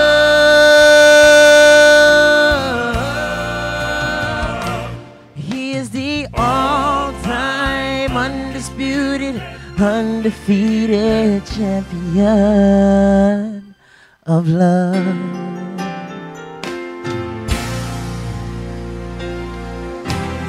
He left his hometown to enter this arena to raise his hands in victory for me. Now an angry crowd who crucified this king who wore the crown. And as they gladly watch the champion go down, oh, but I will never count him out, for I'm a witness of the day he rose to reclaim his title, champion of love. He is higher than the highest. He's greater than the great. No one would ever take his crown away. God is more mighty than the mightiest, and he reigns from above.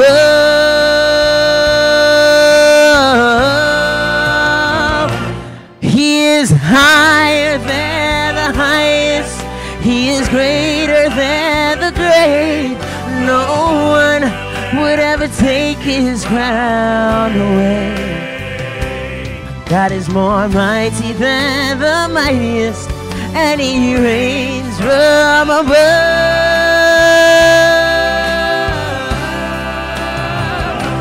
He is the all-time undisputed, undefeated champion. He's the all-time undisputed, undefeated champion. He's the all-time undisputed, undefeated champion. Of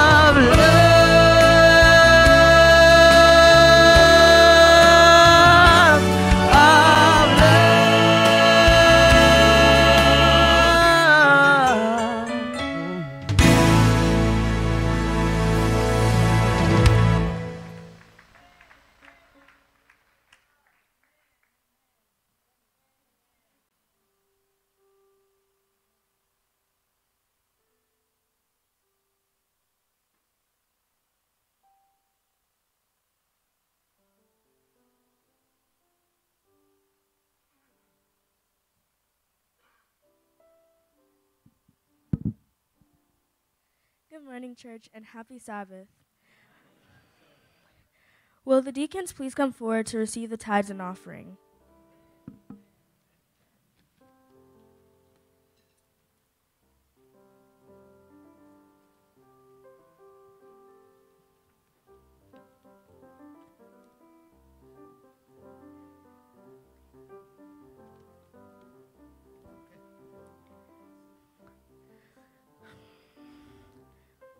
We have different gifts according to the grace given to us. If a man gifts is prophesying, let him use it in proportion to his faith. If it is serving, let him serve. If it is teaching, let him teach. If it is encouraging, let him encourage.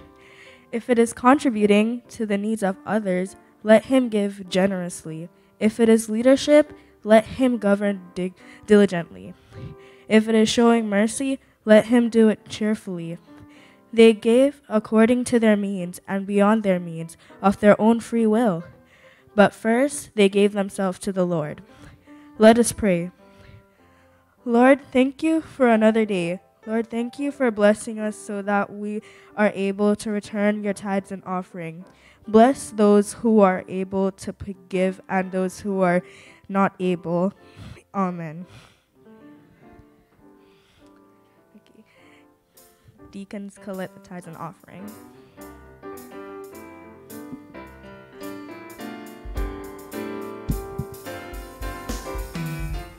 Come on and bless the Lord with me. Come on and bless the Lord with me. Come on and bless the Lord with me. Come on and bless the Lord with me. Hallelujah. Hallelujah. Hallelujah. Hallelujah. Hallelujah. Hallelujah. Come on and clap Come on and clap your hands with me. Come on and clap. Come on and clap your hands with me. Come on and clap those Come on hands. and clap your hands with me. Come on and clap, come on and clap your hands with me. Hallelujah, hallelujah, hallelujah, hallelujah, hallelujah, hallelujah, hallelujah, hallelujah.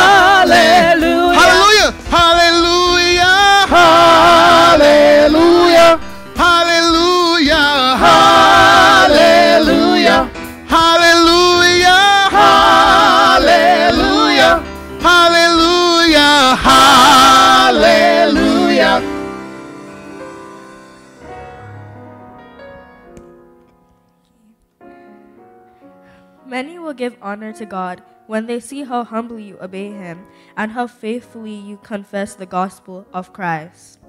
Will the, congre- will the congregation please stand?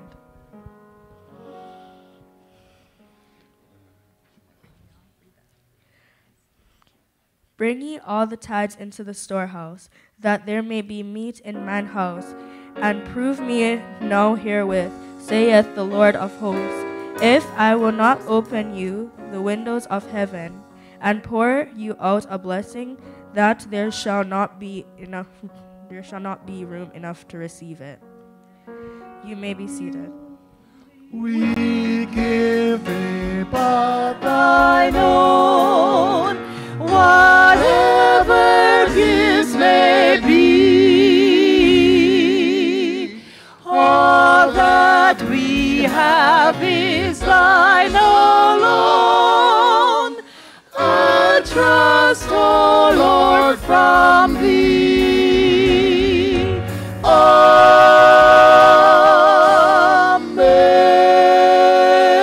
Amen.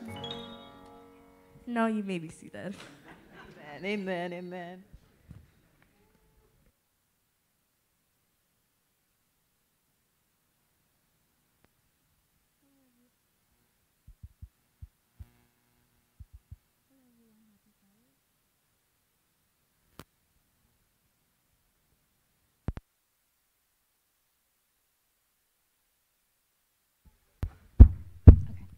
Hello, everyone. Happy Sabbath. It is my great pleasure to introduce the speaker for today. Um, so, I'm going to talk about how I met the speaker. Um, I remember someone sent a Bible study link to join a Zoom. I joined the Zoom and it was really good. I had to reach out to him and ask him when are they going to have a next Bible study. So, I reached out to him and a few Bible study passed, but I didn't get to go to those. But I remember he sent a link to go to Stone Mountain, and I went there. And I met some of some good people. They're here today, and um, I know a few weeks before Youth Day, Miss Margaret reached out to me, and she was saying, um, "You know, you're the AY leader, so I need you to find a speaker." And the first person who came to mind was Chris. And I reached out to him and asked him if he could speak for us today, and he here. He didn't hesitate. Um, so more about the speaker. Chris Magaka was born in Atlanta, Georgia, to his father, um, Yvonne Magaka and Veronica Magaka, and grew, grew up in Morrows, aka Clayton County. He has three siblings, um, O'Brien, Eric, and Beth. Chris loved to serve the Lord and see other young people come to know Christ, which thus inspired him to start a ministry called Magaka Event, Magaka event, which are events created for youth slash young adults in the Atlanta area and beyond. He wants to be known as simple, a servant, a servant who served God fully with no hesitation. That's it. You'll hear from the speaker later.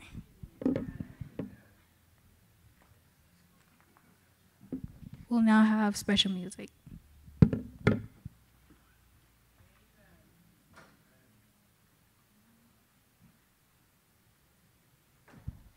Good morning once again.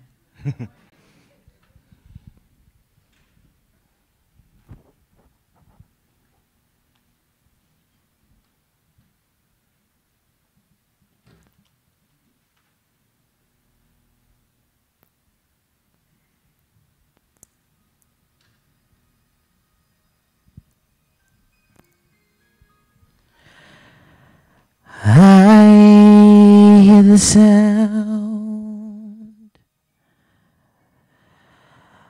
of a mighty rushing wind, and it's closer now than it's ever been, and I, I can almost hear hear the trumpet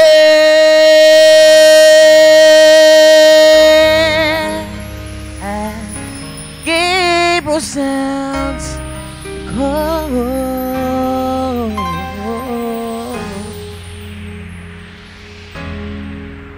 Cause at the midnight cry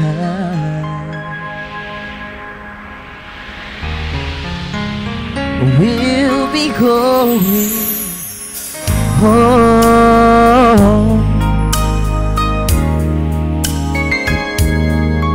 I look around me and I can see prophecies fulfilling. Oh, yes. And the signs of the time, they're appearing everywhere. Oh, I can almost hear, hear the Father tell him, son, go get my children, go get my children. Cause at the midnight cry, oh, the bride of Christ shall rise. Sing it with me if you know the song. When Jesus steps out on a cloud to call his children, oh yeah. The dead in Christ will rise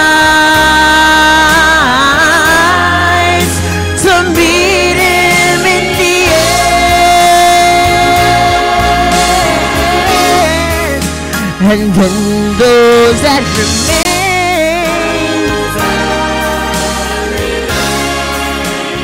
will be quickly changed.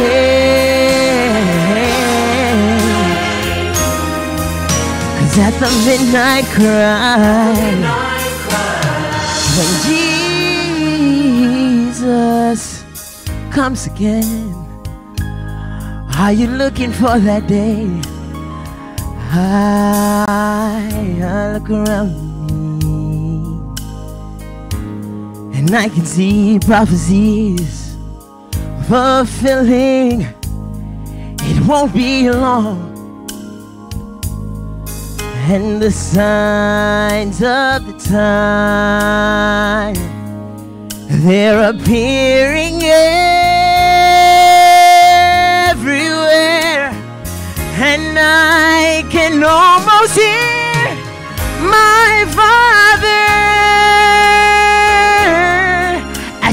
Son, go get my children, go get my children. Cause at the midnight cry, oh, the bride of grace shall rise. Oh, when Jesus steps out on the ground to call his children, we're gonna call God's children. The dead in Christ will rise to meet him in the end. Well, then those that remain, About you, I'm gonna be changed. We're gonna be changed in a moment, in a twinkling of an eye. Cause at the midnight cry,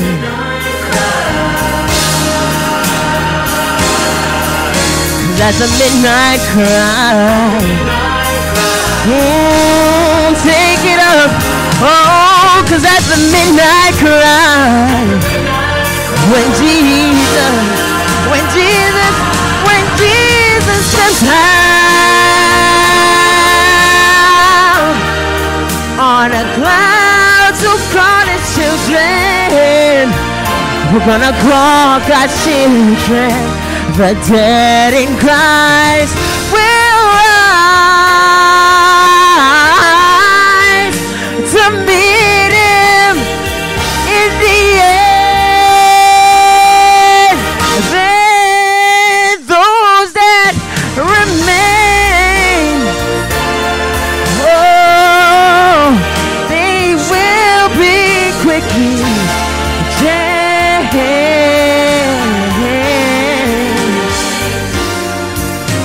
At the midnight cry, oh, cause at the midnight cry, Hallelujah, hallelujah. Oh, cause at the midnight cry, we'll be going home.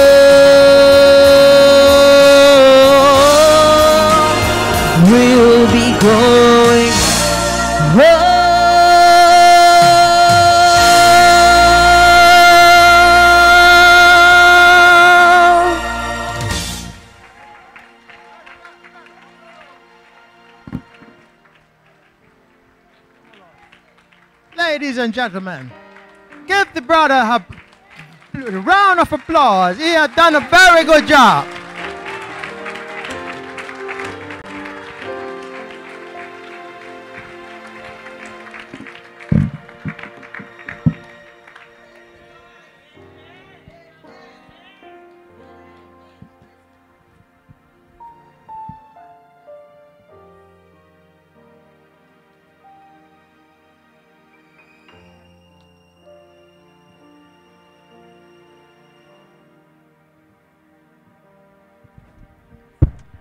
Happy Sabbath, church.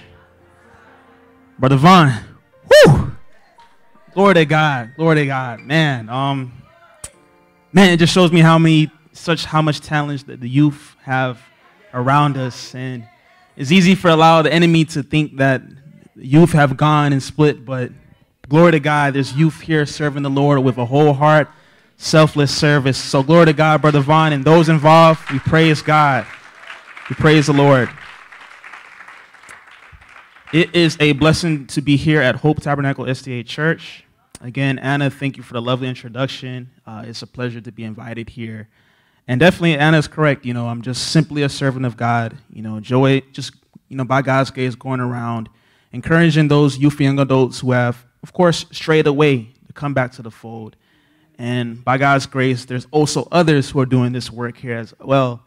And that is simply my mission. So, but I definitely do want to introduce furthermore. Uh, I want to introduce my mom. She's in the back right there.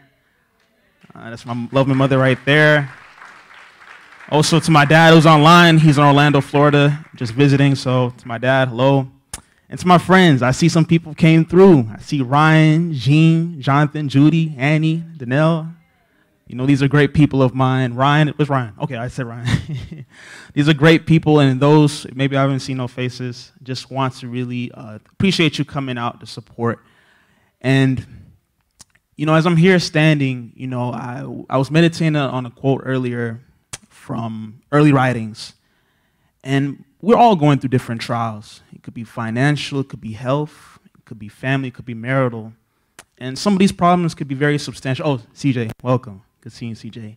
And some of these problems can very, be very substantial. You, you can even come to the church of God on Sabbath, and, and we know that our mind's supposed to be focused on worshiping God, but sometimes the problems outweigh us. And I had the quote, but you know, uh, the connection was a little um, tough around this area. But it was just a quote of that the children of God are in heaven, and we're all sitting like under a huge tree, and we're trying our best to think of the greatest trial that we've been through. But the glory of heaven makes the greatest trials seem so small. So when I read that, I said, I definitely have to share to the people that the greatest trial we face right now will seem so insignificant in that great day. So may God help us to remain faithful to stay in that day. But I'll go ahead and pray, and then we'll go ahead and get started by God's grace. Heavenly Father, we thank you for this wonderful day, your holy Sabbath day. And the youth, Lord, have decided to take charge for you, Lord.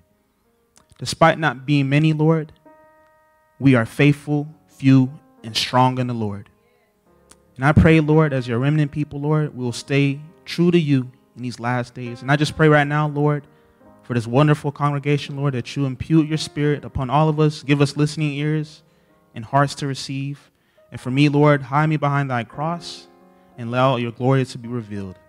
Lord, we definitely need a word in these times. We need a word of encouragement, a word of power, and more importantly, a word of hope. We thank you for the elders, those who are involved here, the congregation, Lord, for encouraging the youth to continuously keep serving God, to worship, Lord, and allowing them to have a space to lift your name, Lord. I've been to churches, Lord, where youth have been void to serve you, Lord. But thank you, Lord, for such a church here that's given them opportunities to serve you. And I pray, Lord, many blessings and many blessings upon them. In Jesus' name we pray. Amen. So the message is simply called Solving the Gen Z Identity Crisis. And the generation of Gen Z is from the ages of 11 to 26. So those who were born 1995 to 2012 is what you can consider Gen Z. And if you talk to a lot of youth pastors, those who are in youth ministry, the biggest question or the biggest earnest subject that they get is a lot of youths don't know who they are. They don't know their identity. And a lot of questions can be asked is who am I? What defines me? Does my life really matter? And Gen Z is a generation that is desperate to know who they really are. You can see it all around them in the ways they do and the way they act. And unfortunately, Gen Z is one of the most um, generations that are accepting of all identities from transgender to bisexual, pansexual. You know, they're just starting to make things up now. And a lot of different things. And you would think that, hey, if we're accepting all these identities and we can be whoever we are and we can be however we feel, shouldn't there be no identity crisis? Shouldn't be you be, you know, like everyone should be happy and everybody claims to know who they are? But on the opposite, this generation has become the most rootless, the most aimless, the most lost, the most confused, the most depressed, the most anxious, completely lost of who they are. And they think that they have the answers. Well, I'm considering that group. We, we think we have the answers. And by God's grace, we want to solve this identity crisis with the Word of God. And I want to bring a point here. The reason why a lot of our youth and young adults are trying to find who they are is because it's a natural desire. You know, in the Garden of Eden, God gave his people three inner needs love. We all want to be unconditionally loved here. Despite what? Two, significance. We want all of our lives to mean, to have a purpose, to be a meaning. And lastly, we want security. We want to know that we have a sense of belonging, that people you know, accept us for who we are. So these are three God given needs that the Lord has bestowed upon us since the beginning of time. And we're naturally, just in, in good ways or bad ways, are trying to fulfill these desires. And last, we want identity. Everybody wants to know who they are. You know, we all watch documentaries where people are just sitting there and just describing their whole experience, and at the end, you can see that they're lost and confused, like a, a sail in the ocean, knowing where they're not going. So it's a natural desire, it's a natural quest and, and um, a pathway to understand who you are. And this is the age, Gen Z, where it's, you're trying your best to figure out who you are. And unfortunately, with the heart of all behavior, we try to fulfill these God given needs in illegitimate ways. So, to love, security, and significance, instead of going to God, young people are going to gangs, bad groups, sex, social media, and a lot of these different things, trying to get money, trying to fulfill these desires, trying to find the identity in illegitimate ways. And the Bible specifically says in Proverbs 14 12 that there's a way that seems right to a man, but leads to death. But this generation is saying that, hey, let's everyone be themselves. We'll all be happy. But then you can see it all in their faces. You can see in the statistics. They're not happy. We're not happy. But by God's grace, we want to solve the identity crisis. And I want to pinpoint something about social media. I know the older folks didn't really grow up with social media, but you know now you know we want to connect with our people. You know we're on Facebook, but for people like us in Gen Z, we we kind of grew up with social media. For me, I got introduced around the ages of 11, 12. Uh, MySpace came out. Who, who, knows MySpace? Yeah, and I remember someone at school like, "Yo, Chris, everybody's on MySpace," and I was like, "What's th- what's this about?" Because before my, my only social media was like, "Hey, my friend, like, are you are you coming out?" Or at school, you know, but at that time, as young people, we didn't really know how to use it. So we saw a lot of things, you know, people looking cool, people got cars, you know, young kids like us. And I'm like, man, like, man, I, I thought my life was okay, but it's really like not that okay. So, believe it or not, a lot of young people in this Gen, Gen Z age, they tend to really have a struggle with comparing themselves, have a fear of missing out. It develops insecurities. And more so, if they're in the age of trying to find who they are, this is not the right avenue. They're looking to the wrong people, the celebrities, the Jay Z's, the Beyonce's, the Kyrie Irvings, all these people to help them to see who they are. And they're falling after these people when, of course, like the only answer is God. You know? So, but you can see it all throughout. A lot of young people are following the trends of this world. And we know what the Word of God says. If we follow the world, we'll end up just like the world in damnation. So we're here to definitely solve this identity. So the question is, why is there a major, major identity crisis in Gen Z? And we're not even going to just speak about Gen Z, but what, what about the, the identity crisis within our churches? This church should be filled with young people, but it's only a faithful few. The church I grew up, you can testify to mom, we had almost 100 plus youth, young adults in that church. You go there, sometimes you might have to get some glasses to see who's still there. And the thing is, it just starts with the great controversy between God and Satan, which started in, the, in, in, in, in heaven in Revelation 12. Know, the dragon fighting with Christ. And of course, it came down to earth. Satan came, you know, Adam and Eve were tested. Unfortunately, they failed the test, and then sin came into the world. So since then, 6,000 6, years we've been fighting between, well, there's two forces that are fighting God and Satan. And there's only one choice we can choose for the Lord, who's on the Lord's side, or for Satan. And that's where the young people are not understanding today is that great battle. But to be more specifically, the Word of God gives us the answer to why is there a major identity crisis. And if you have your sword, in the modern sense, I, I know sometimes people don't like when I say it, but I call it my gun right here. 66 bullets, the Word of God. Let's turn to Luke chapter 6 and let's see where and why is the ma- why do we have the Gen Z is having a major identity crisis. And the Bible tells us very specifically. I was praying to the Lord. I said, Lord, help me to preach this word. Why do we such have an identity crisis? So Luke chapter 6, to be very specific, verses 46 to 49. So the question is, why do we have a major identity crisis within our own churches? Youth and young adults are out there you know, you know, they're on TikTok twerking, knowing that they're made in the image of God. There's young men that are in the streets, riding scooters, riding ATVs. But we ask them to come to church on youth day, theme, who are you? They don't want to come. But they say they're happy though. But when you talk to them, you start to see the real root of things.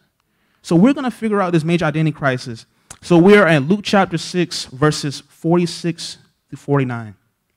I'll start at actually verse 47. And the word of God says, this is Christ speaking. He says, Whosoever cometh to me and heareth my sayings and doeth them, I will show you to whom he is like.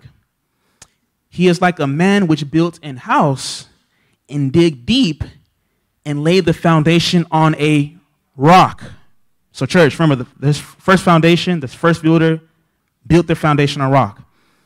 And when the flood arose, the stream beat venomly upon that house and could not shake it, for it was founded upon a rock. Verse 49. So now we're going to go to contrast of what was um, the other thing that was built. But he that heareth and doeth not is like a man that without a foundation built an house upon the earth, against which the stream did beat venomly and immediately fell. And the ruin of that house was great. And the Lord led me to realize that the reason why there is a major identity crisis is that a lot of young people are building their foundation, who they are on earth, or in some translations, in sand. And to be very specific, you know, the Bible has different meanings of, symbolic meanings of different words. And I, we're going to use the word sand instead of earth today. But according to Genesis 22 17, sand also represents people or human philosophies, opinions of the world, of those around us. And this is confirmed in Genesis 22 17. And the word of God says that in blessing I will bless thee, and in multiplying I will multiply thy seed as the stars of heaven and as the sand. So, sand also represents people. And that's where the issue is. A lot of young people that are lost and confused, not knowing who they are, they're building their foundation upon sand, people's opinions, the philosophies of the world. Looking to the TV stars, the celebrities, the influencers on Instagram, the IG models, those who bottle shaped coat looking and saying, Oh, if I can be such and such. But thank God that God gives us another direction. The first builder built their foundation on what? And we all know what the rock represents. The rock represents Jesus Christ. And that's the, that's the major identity crisis. A lot of young people are not building their identity on Christ Jesus. Because think about it, if you build your identity on Christ alone, despite things happening in your life, from academics can fail, relationships can fail, you will still remain who you are. But if you build your identity on people's opinions, and one day they say, hey, you know what? I, I don't think that, I think this about you. I think that you're bad and this and that. You will fall apart. Or if you build identity in your career, your academics, your grades, a boyfriend, girlfriend, if those things are swept away, where, what are you standing on? So that's what's going on within our, our churches. A lot of young people, again, God, Satan is using social media as a tool, which of course social media has a lot of good benefits to it. But like I said, some things can be wrongly used. He's using this as a tool to sway people from understanding who they are through the Lord. Thinking that the ways of this world will lead to fulfillment, the lust of the flesh, the lust of life, and the, uh, the pride of life, those kind of things. So we have to build our foundation on who? Christ Jesus. And something, you know, and, and, another reason why Satan is afraid for the young people to find the true identity, so he fears them in these last days. You know, Sister White talks about there will be an army of young people who are furnacely trained, will go and spread the message. And Satan is doing everything he can to stop God's people from experiencing revival, a revival of true godliness. So now what you see is so many distractions. And one of them is, uh oh, y'all know where I'm about to get out, right? The phone. You can see some of the older folks, when you, when you, you invite your young people to social gatherings and reunions, and do you, a lot of time, are they vocal talking with, with the family? What are they doing?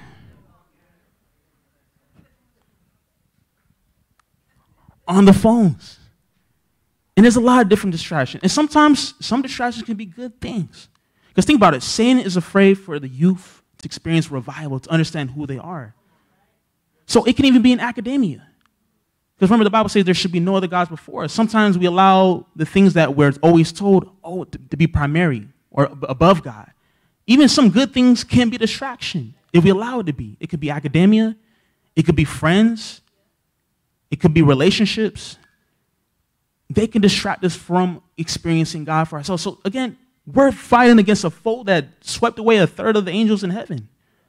So we have to stay close to the Lord. So again, the question is, why is there major identity crisis? We now realize that it's because a lot of young people are building their foundation on sand, which represents the philosophies and opinions of this world. And also, we know that Satan is doing everything he can to distract and deceive the young people because he knows that they can finish this work by God's grace. So that's why, as young people, we have to know who we are in these times because Satan will continuously try to play mind games. And we'll talk more about that as we progress through the message. But now I want to move to my main point. So the subject was self discovery versus God discovery.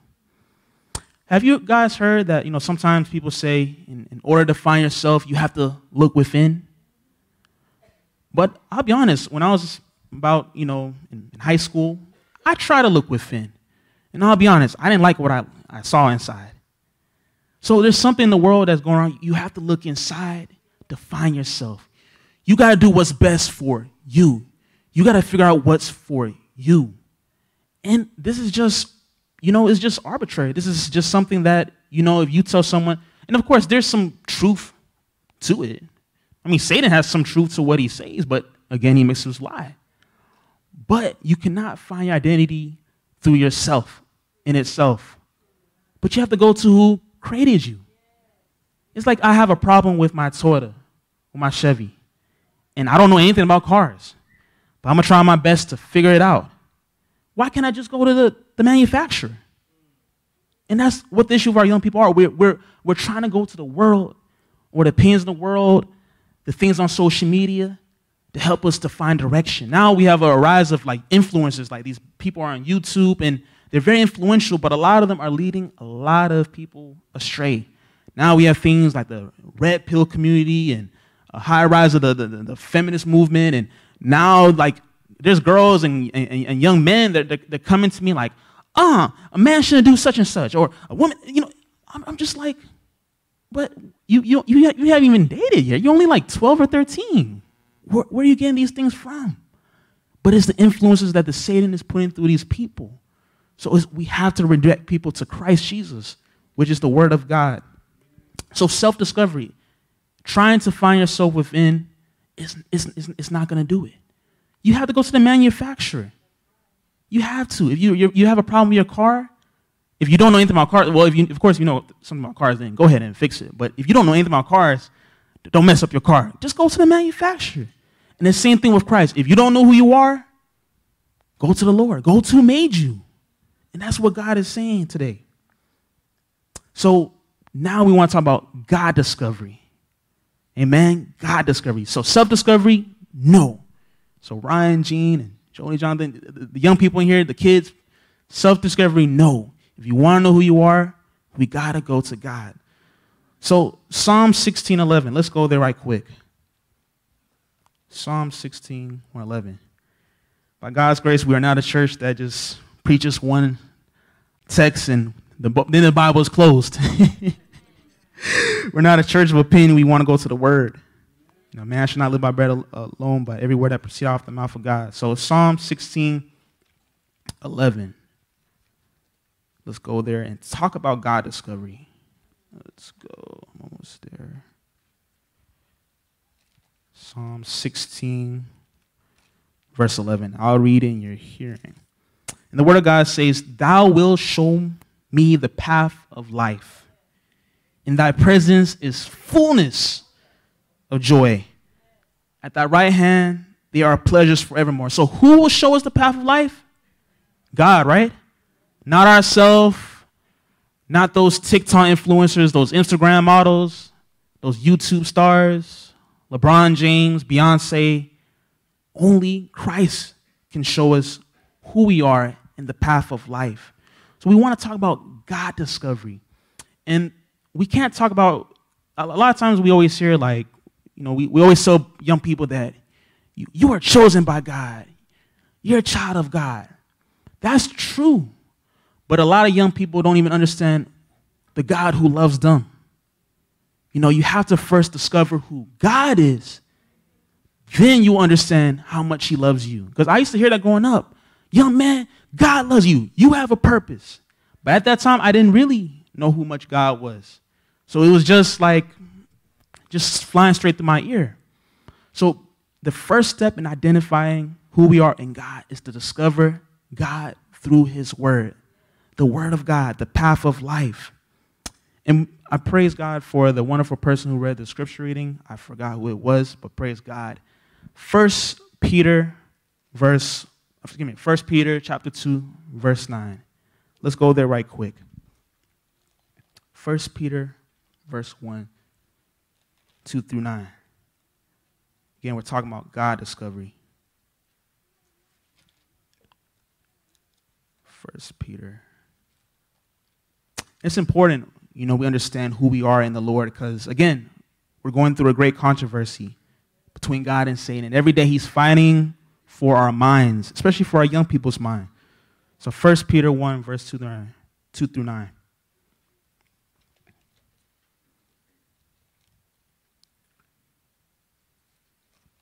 All right.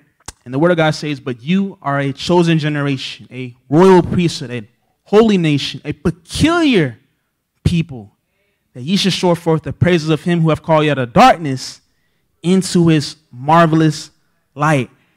And there's four significant words that the word of God or Christ says to us. He says we are chosen. So, young people, you are chosen by God. So, when at school you feel different from your friends and your peers, you might not have the latest gear, the swag, the Jordans, or, or you might not talk like them, you might not uh, see eye to eye with them. You got to realize you're chosen by God. You're not meant to look like them. You're a chosen people. You're not to look like the world. He has called you out of the darkness into his marvelous light. And the next word is you're a holy nation. God wants us to be holy. He doesn't want us to be like the world. You know, sometimes when I was growing up, I used to see these people at school. They seemed so cool. They had, especially the fellas, they had all the ladies coming to them, and I had zero ladies, and and just. and I'm like, man, I'm just, I'm just missing out for real. Like, Lord, you just, you just didn't, you didn't bless a brother or something. But as I began to discover who God was in His Word, I realized, hold on, I'm not meant to be like these people. Not saying I'm better than them, but I'm not meant to be like them. So we're in holy nation, a peculiar people. Peculiar means strangely different. Not different in terms of being weird, like, oh, he's just, that person just being weird, but strangely different to the world's eye. We're not meant to look like the world. But a lot of youth young adults, as I go through different churches, a lot of them are trying to be so much like the world. Oh, they just released this, this new um, jeans or whatever it is. That These, because I, I got to be like them oh, they released this, these new shoes. I gotta be like them. This new music. It's like, hold on, like we the peculiar people. We're the chosen people. They should be striving to be like us, right? So that's the thing. We are peculiar people. So when people see you, you know, looking strange and you know, you, you go to church on Sabbath or you know, you the way you talk, you don't curse. You know, they can talk all those different things, but know that you're a chosen people and a holy nation. We have to know who we are through the lenses of God for our young people. And He has called us out of darkness into His marvelous light. We all know darkness is a bad thing, and being in the light is good. So, for those who are young, please, Satan is going to do everything you can to make you feel like you're missing out on what your peers are doing.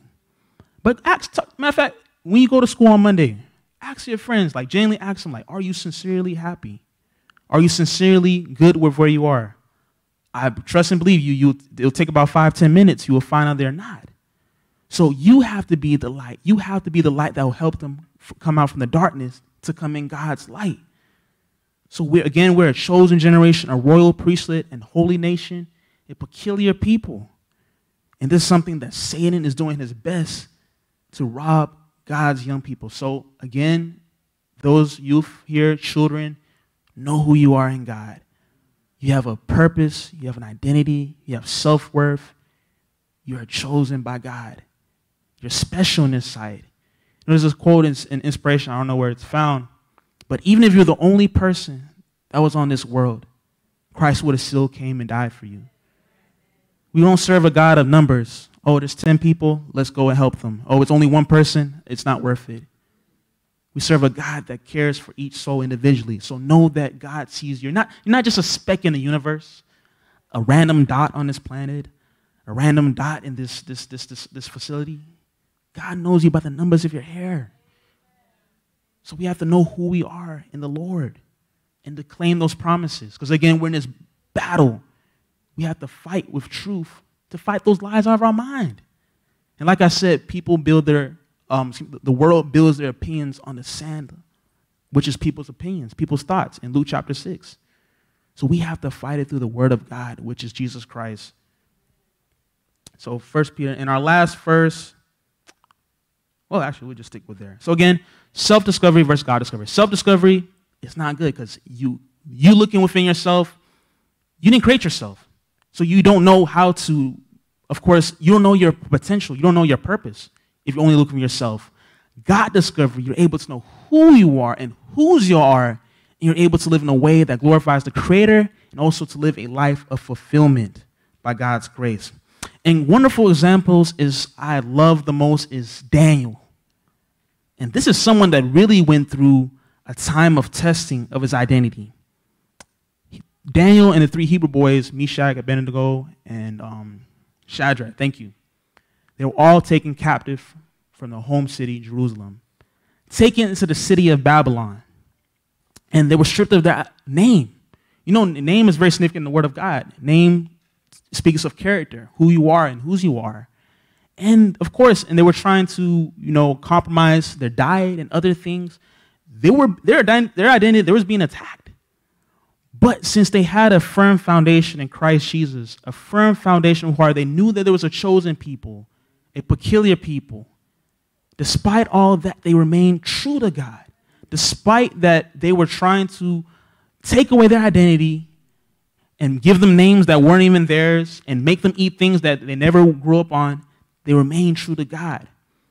And right now, we're living, of course, Daniel and them, they lived in current uh, Babylon at the time or Babylon, Babylon back then.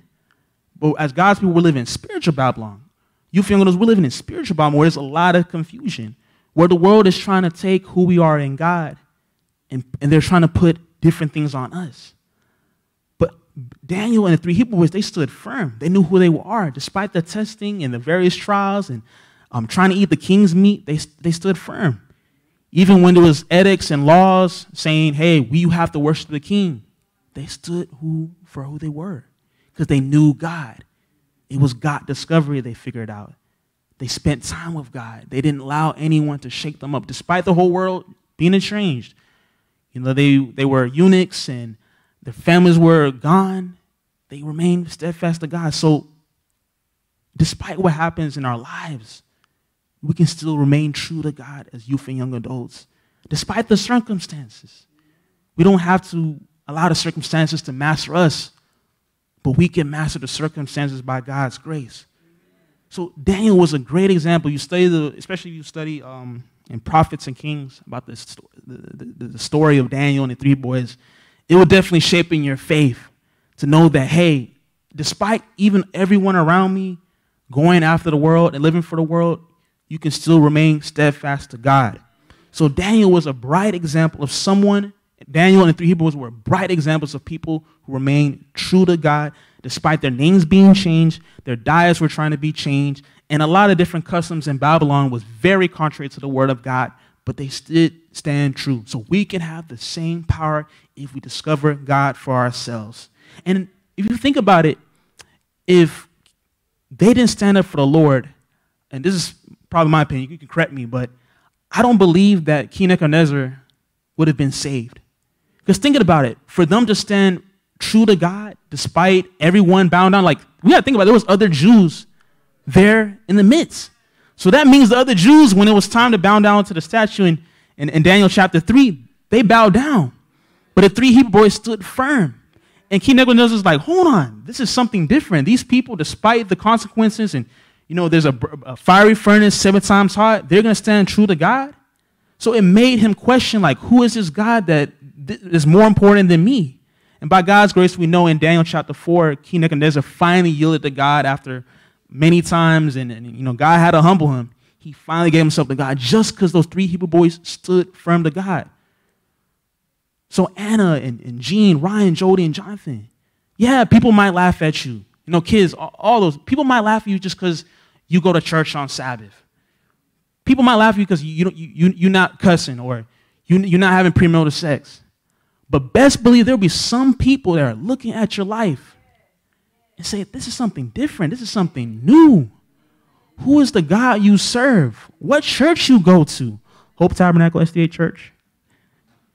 That's how it is. So that is how we draw people from the world to Christ, is by our lives. To shine our light to the world, which is our very own lives, so people can see it and come to Christ. And the most important, and that's the reason why the most important, we have to know who we are. And that's why, again, I said Satan is very fearful of the youth. Because if youth know their tr- true identity, many young people from the world will come to the light. If you see all on social media, there's people now, there's, there's a group, of, a, a, a movement of young people that are now starting to um, be bold for the gospel. They're preaching the word. Matter of fact, our young brother here, CJ, he has a great Bible study group called COG, COG Children of God. And there's young people from his colleges, campus, those around, you know, who are don't understand the gospel, but are coming in. It's because when we you, we take a stand for God, of course, the world, most of the world might not, they will oppose it. But we know that there's some out there who are thirsting and seeking for truth and light. So there's always pros to standing true for God. We know there's consequences against the, you know, the, the worldly structures, but at the end, it's always eternal, um, eternal blessings. So let's stand for the Lord and let us know who we are and let no one take our identity from us. Because again, the world, Satan, is trying to put people's opinions and thoughts to us. And speaking about people's opinions, oh, I believe this is one of the main tactics he does to our young people. And I'm living testimony. You know, I grew up, uh, thank you again, Anna, for the introduction. I grew up in an environment where a lot of kids obviously didn't know who they were. You know, it's true what they say hurt people hurt people. You know, I would come to school. I mean, I, I, I, I had decent clothes. I don't, I don't know why. I, look sometimes back and I'm like, I, kids were making fun of me, but I, I look back, I'm like, oh, I had decent clothes, but kids was just coming and just, no one wanted to sit with me, and people were joking, laughing. I remember one girl, like I was, you know, they were like, Chris, come sit next to, um, I won't say her name, but, well, her first name was Jessica. Like, come sit next to Jessica. I remember like I sat down, her desk was right next to me. She completely scooted over. She was like, I don't want to do anything with you. So uh, those years progressed. I started to progress more of a lower, lower self esteem. I tried to do my best to fit in. You know, I try my best to stay with the current trend. Tell my mom, hey, just, I just want the latest phone. I, I even want a phone just for, for the phone's purposes, but just to look cool. And it's funny, Khristopher, you know, it just, as I continue to progress, you know, God definitely, like I said, God sees us individually. You know, God sent people in my life, like my older brother, or at the time, like my half brother who I came to meet, to remind me of who I am in the Lord. That I don't have to have the latest J's to, to, be, to be someone. I don't got to be the most popular person in school to be acknowledged. I don't have to have uh, two girls, one right here, one right here, to be to, to be the man.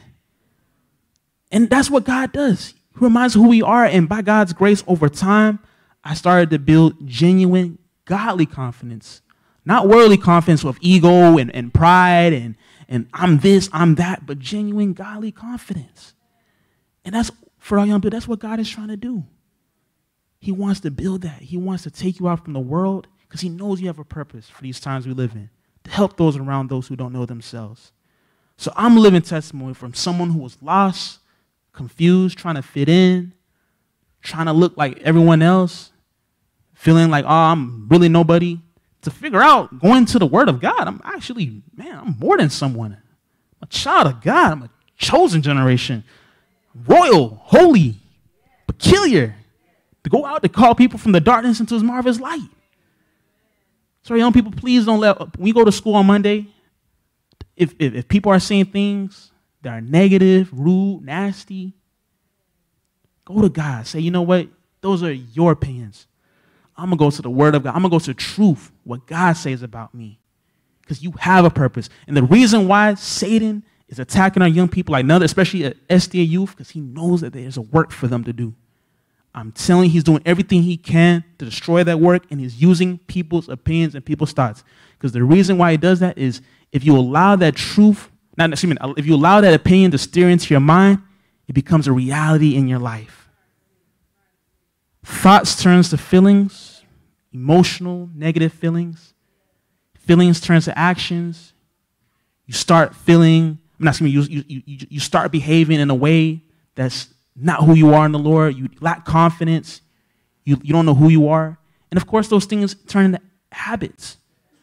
Satan fears you all tremendously. So that is why he's using everything to just steer you from the path.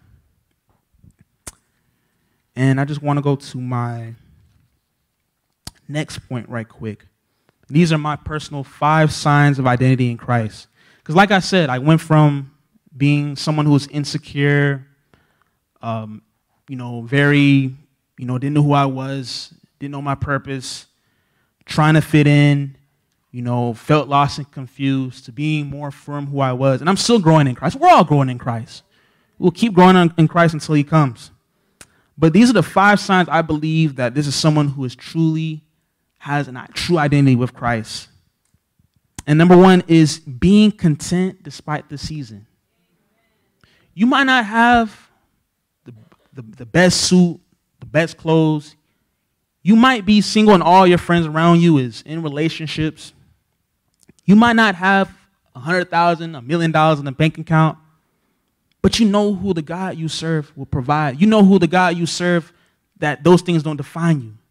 So the first sign of someone who's really knows identity in Christ is contentment. And we know this in 1 Timothy uh, verse 6 through 6. We don't have to go there. But contentment is a sign of someone, yes, of godliness. is great gain. It's contentment. And I'm not saying there's nothing wrong with desiring things. God allows us to desire things that they're healthy and they're, it won't affect our spiritual um, walk with Him. But we should be content each season. That's how you know someone who is truly puts our identity in Christ. Because you see those in the world, they're always trying to get more. Oh, I just got this new this, this check. I, I, just got I just I just cashed out. I, I need to go get more. Oh, even some friends, I have some friends like, oh yeah, my girl is beautiful. Oh, she's she's so beautiful. I need me a side chick. Hold on, you just you got the most pleasant and wonderful girl in, in, in, in, the school. Now all of a sudden you want to go to this high school to get another side chick. It's like, how much more you need? Because they're not satisfied. They, they don't know who they are. Their identity is built on sand. They have to get more and more to feed that flesh. But if, was, if their identity was firm in the rock, you, you're content. You might desire, of course, the good things, but you know that at the day, those things don't define me. It's God. So contentment is the first sign that someone has identity in Christ. Number two is negativity or people's opinions have a less impact on you.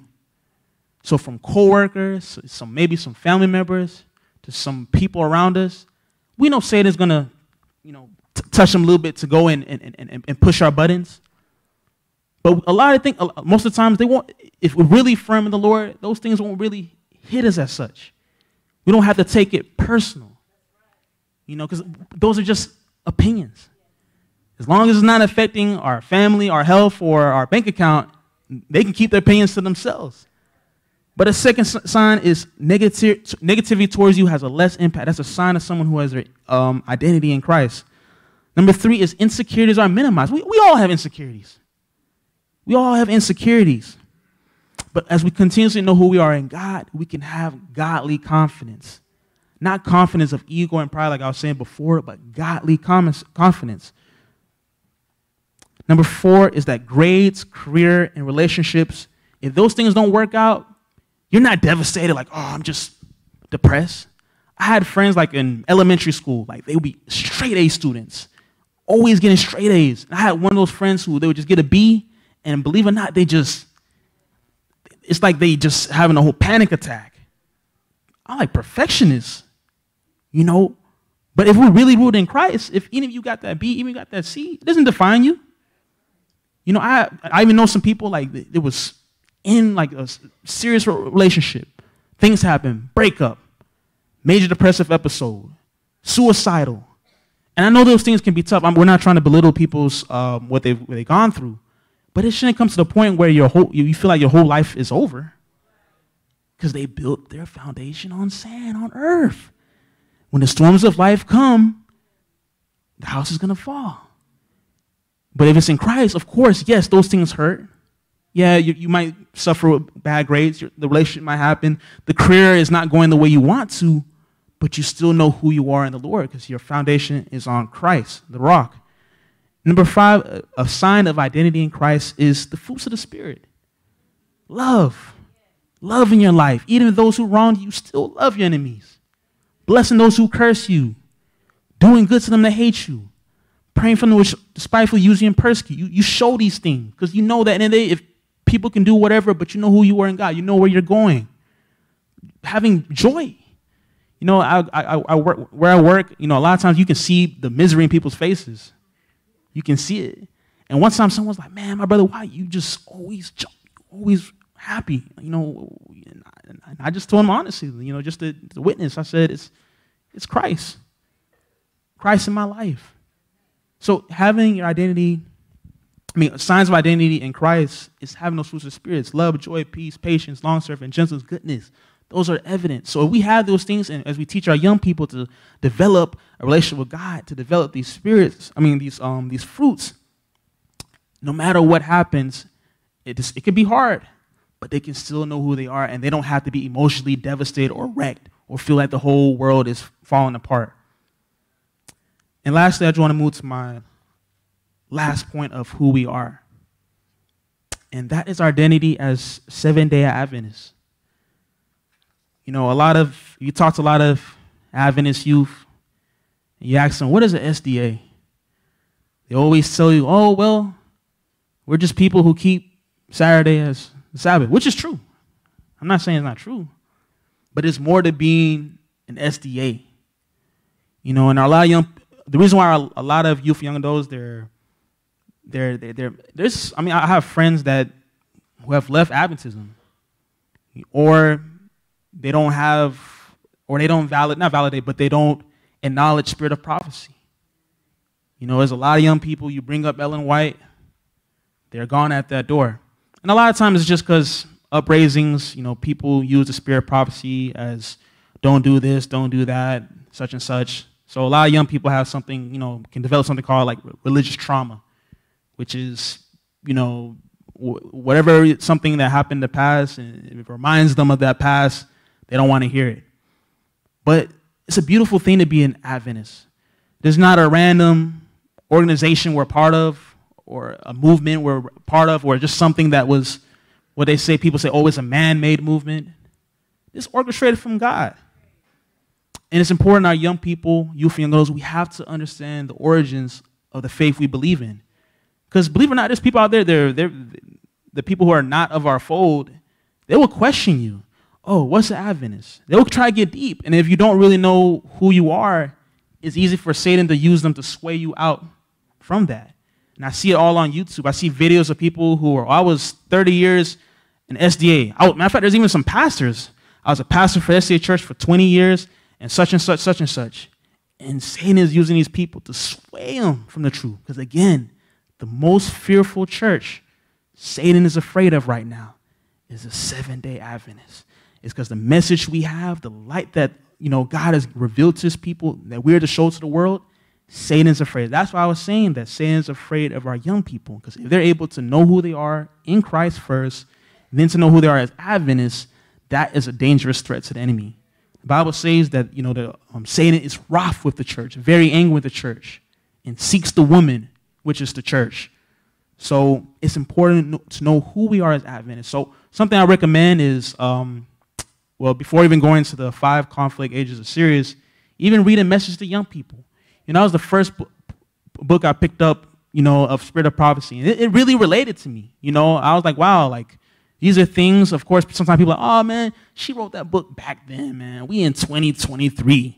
We got we we in new age, but a lot of those principles still applied. It helped me to shape, you know, who I was as a young Christian. You know, that's a great bit to, to, to pick up. And of course, then going through, the, you know, patriarchs and prophets, prophets and kings, desire of ages. Y'all know about that. You know, desire of ages, uh, it's good, good stuff. Acts of the Apostle and great controversy. Just to know who you are in this divine movement. Because we're not only just to call people from the world into Christ, but to point them back to the Decalogue, the fourth commandment. You know, I have a lot, I've, I've been meeting a lot of people. Like sometimes a lot of people are just in ch- Sunday churches or churches just because they grew up there or it's just tradition. But I've been having conversation. I, I been just, I, went, I met this young lady at Moe's and she was doing my food and stuff.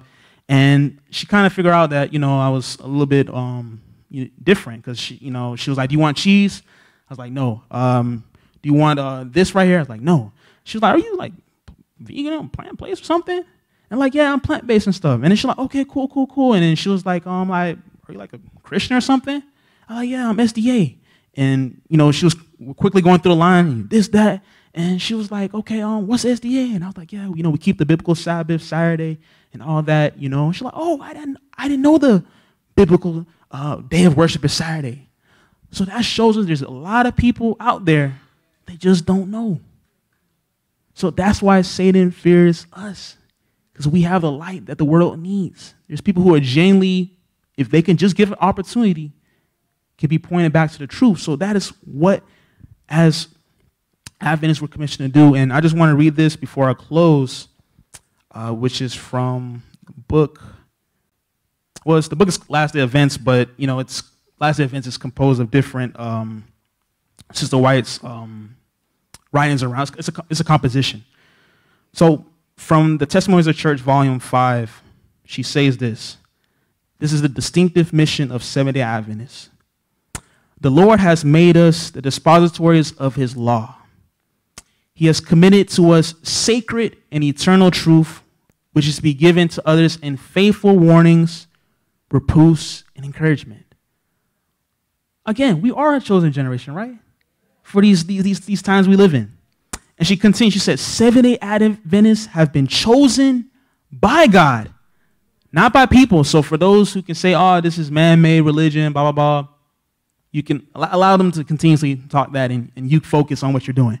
But we've been chosen by God as a peculiar people separate from the world.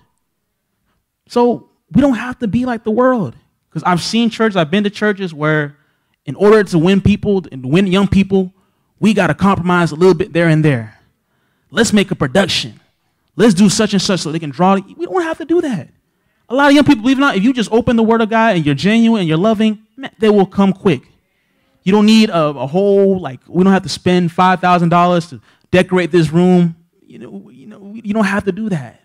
You know, because we're, we're if we're separate from the world, people people look at us like, hold on, like what's different about you all? But she she's, she continues, we're separate from the world by the great clever of truth he has cut out from the quarry of the world and brought them into connection with himself. He has made us representatives and he has called us to be ambassadors for him in the last work of salvation. So the world is dependent on us to expel this truth to this world, to give this truth to the world. Because there's no other there's no other church out there that does it. The other day I was talking with um, a fellow Adventist. He was like, "We gotta stop saying, hey, um, brother Chris, we gotta stop saying we're the remnant people." And I'll be honest, like I said, there's people who have they don't know their identity. We are the remnant people. Revelation 14, 12. Here's the patience of the saints. Here are they that keep the commandments of God and have the faith of Jesus. Are we keeping all Ten Commandments? Are we keeping the fourth commandment?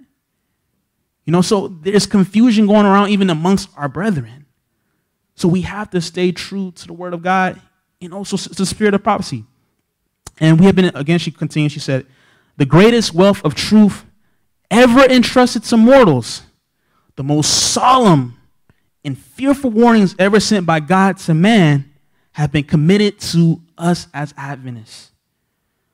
Because think about it, every significant event that Christ, I mean, the Word of God says, uh, uh, the Word of God has put from, um, like Noah.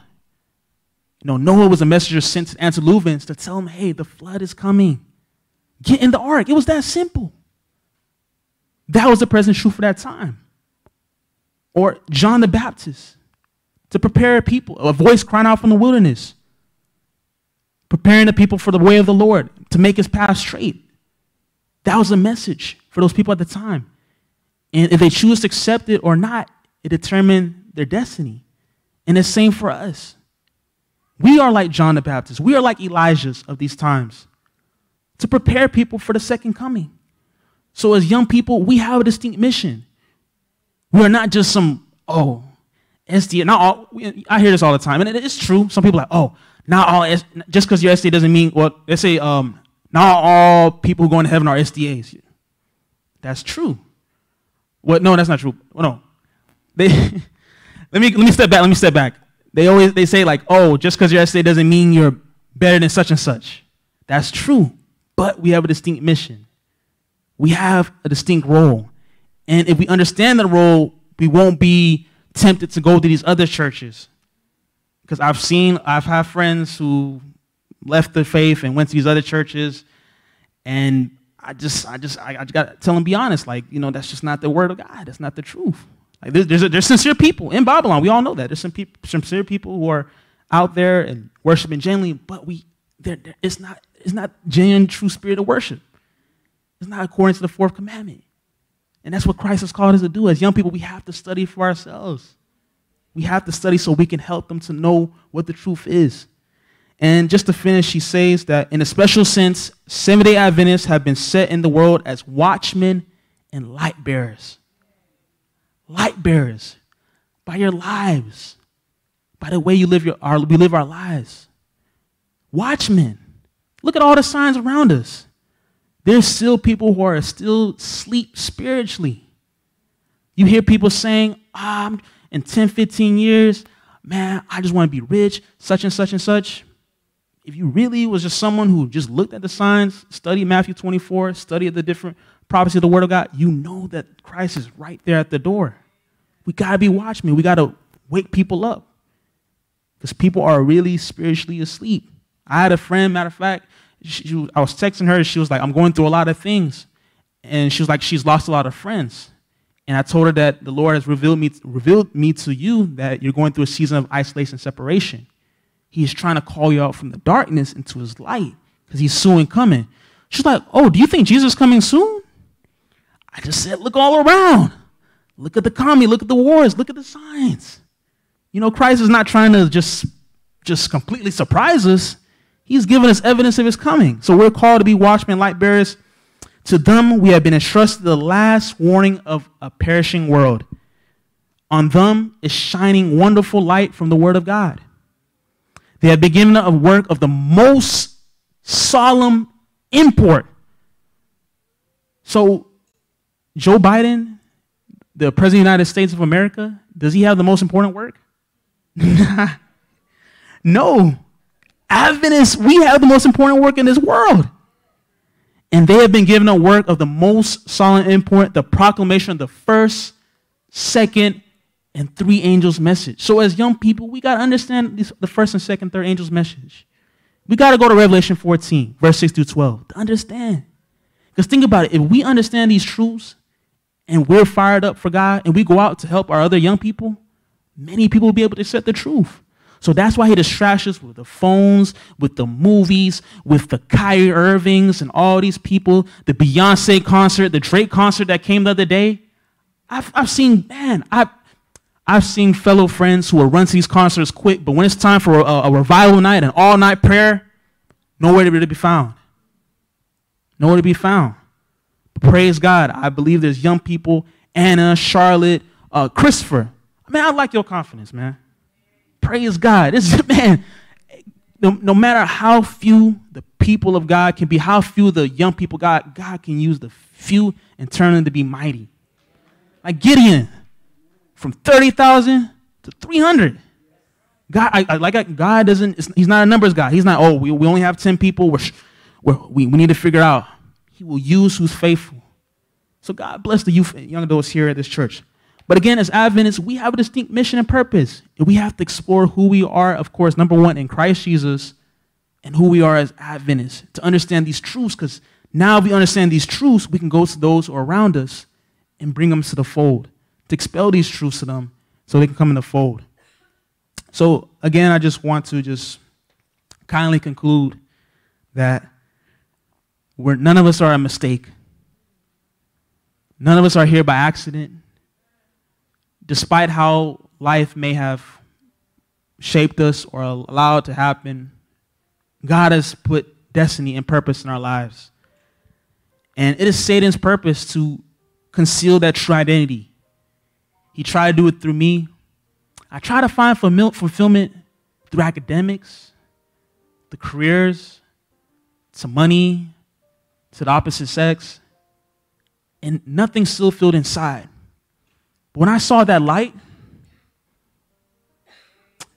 and I figured about God discovery, and that wasn't defined by how much I had in my wealth, my, my Wells Fargo, my Wells Fargo bank account, or my the shoes in my sneaker closet, or my friend circle, or my Instagram, how many followers I have.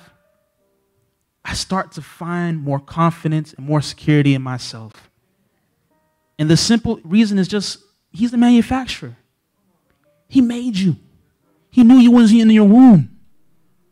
You know, so our young people, our children, man, God has so much. To, he has so much blessings in store for you.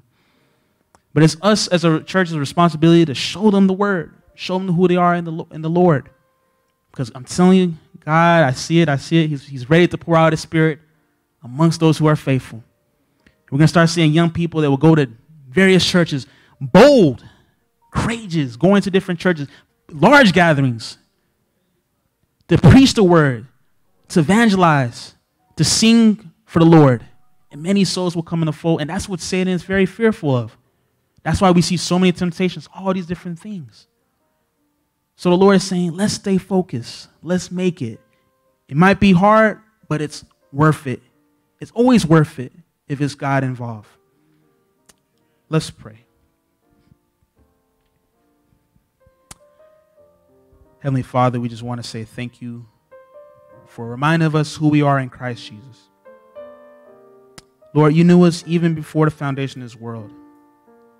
You knew that we'd be here in 2023, still striving to live for you. And Lord, Satan is trying to take away what is ours which is knowing our identity in you, Lord. And Lord, it's it's sad. It's hardening to see those around us in the Gen Z age, in the church, not realizing who they are. But Lord, we thank you for the faithful who are here. And it's up for us, Lord, by your strength and mercy, to stay true and faithful. Because just as the three Hebrew boys stood for you, despite a contrasting society, we can stand for you, Lord, and people can see that marvelous light in our lives and come to you, Lord. I pray for the youth here, Lord, the children. Please, Lord, install your spirit and remind them, Lord, that they are chosen. Lord, that they're peculiar people, a holy nation, Lord, because you have called them out of darkness in your marvelous light, Lord. I pray for the elders, the leadership here, Lord, that they will continue to allow your spirit to move them and lead them and, and help have more programs for them. And Lord, I pray that at the end of the day, Lord, we want to make it. We want to be found faithful when you come, Lord. So allow us to remain faithful now and here and then until we all meet you in those skies, Lord. In Christ Jesus' name we pray.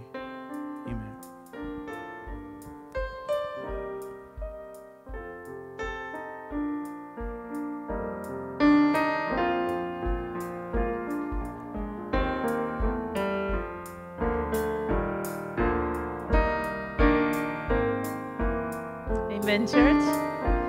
What a beautiful sermon and testimony. Just before we go to our closing song, I think it's appropriate, I think it's important for us to ask our young people, our children, our youth to come forward and for the adults to surround them. I'm going to ask our first elder to come forward and pray. Let's pray for our young people. Our speaker, Chris, and would like to just ask all our youth, all our children, please come forward. Please come forward. Would like for all our adults to surround our children and we'll pray for our youth. Please.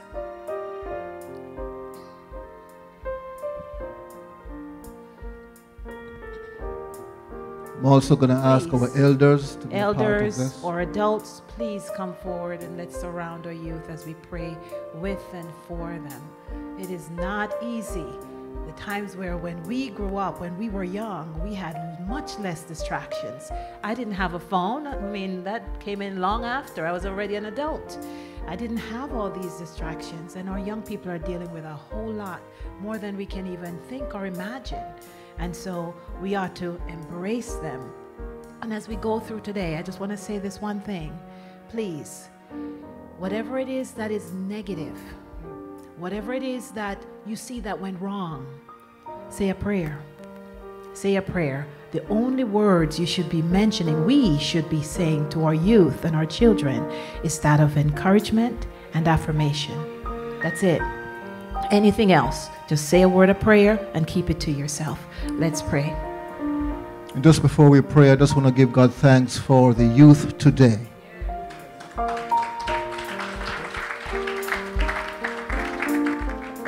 I want to thank my brother out there for preaching in his songs. The brother that preached in his songs. I want to thank him. And I want to thank you, sir.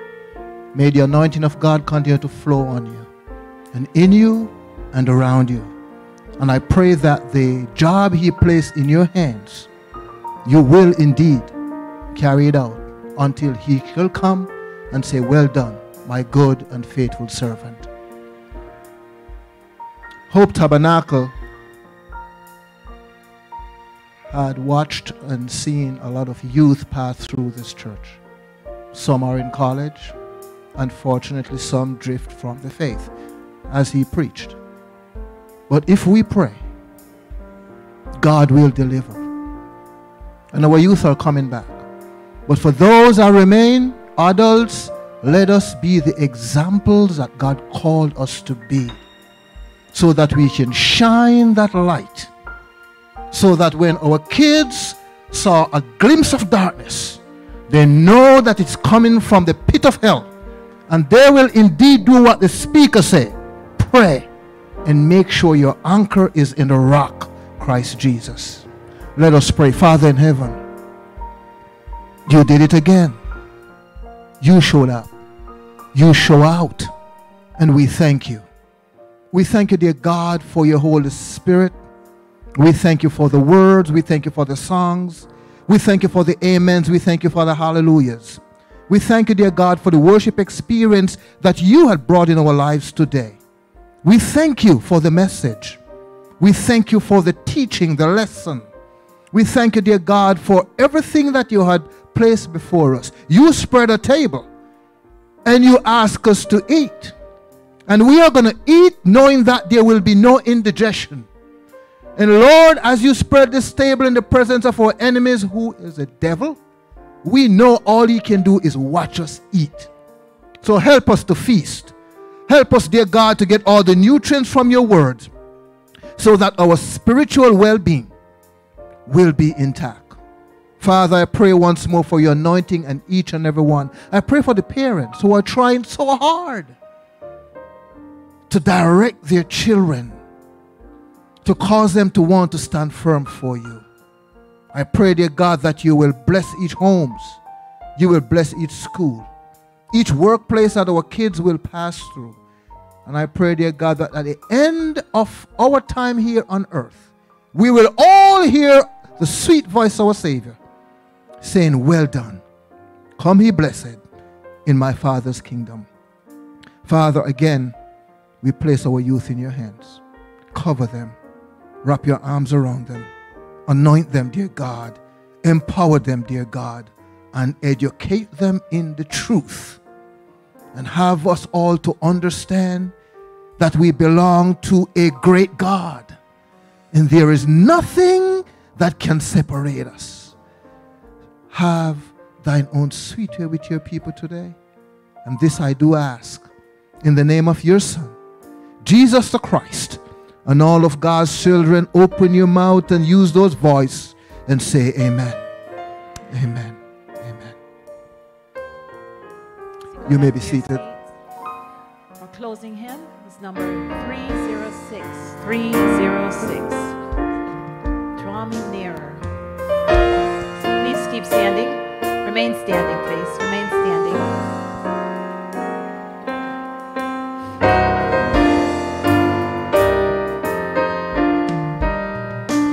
I am thine, O Lord, I have heard thy voice, and it told thy love to me. But I long to rise in the arms of faith and be closer drawn to thee. Draw me nearer, nearer, blessed Lord, to the cross where thou hast died. Draw me nearer, nearer, blessed Lord, to thy precious bleeding side. Consecrate, consecrate me now to thy service, Lord, by the power of grace divine. My soul look up with a steadfast hope, and my will be lost in thine. Draw me nearer, nearer, blessed Lord, to the cross where thou hast died. Draw me nearer, nearer, blessed Lord, to thy precious bleeding side. Oh, oh, the pure delight of a single hour that before thy throne I spend. When I kneel in prayer and with thee, my God, I commune as friend with friend. Draw me nearer, nearer, blessed Lord, the cross where thou hast died. Draw me nearer, nearer, blessed Lord, to thy precious bleeding side.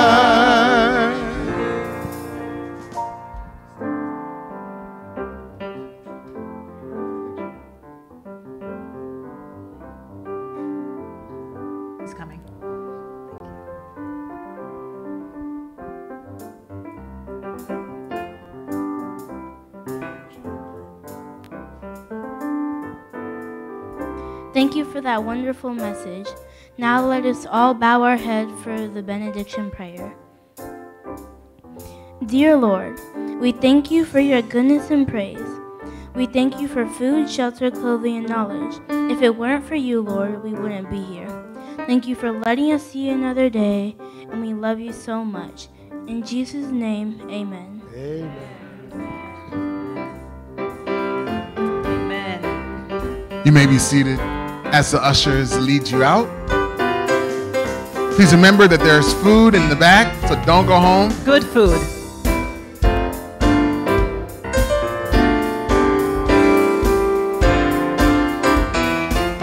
Come on and bless the Lord with me. Come on and bless. Come on and bless the Lord with me. Come on and bless. Come on and bless the Lord with me. Come on and bless, come on and bless the Lord with me.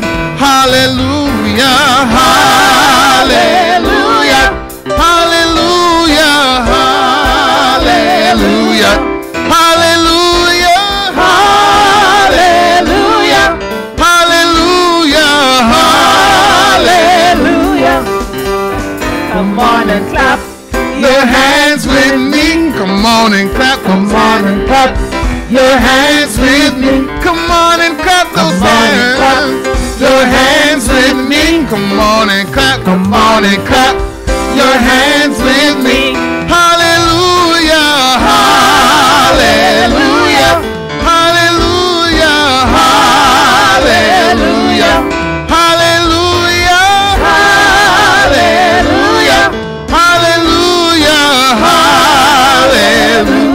Come on and dance with dance before the Lord. Come on and dance. Come on and dance before the Lord. Come on and dance. Come on and dance before the Lord. Come on and dance. Come on and dance before the Lord. Hallelujah. Hallelujah.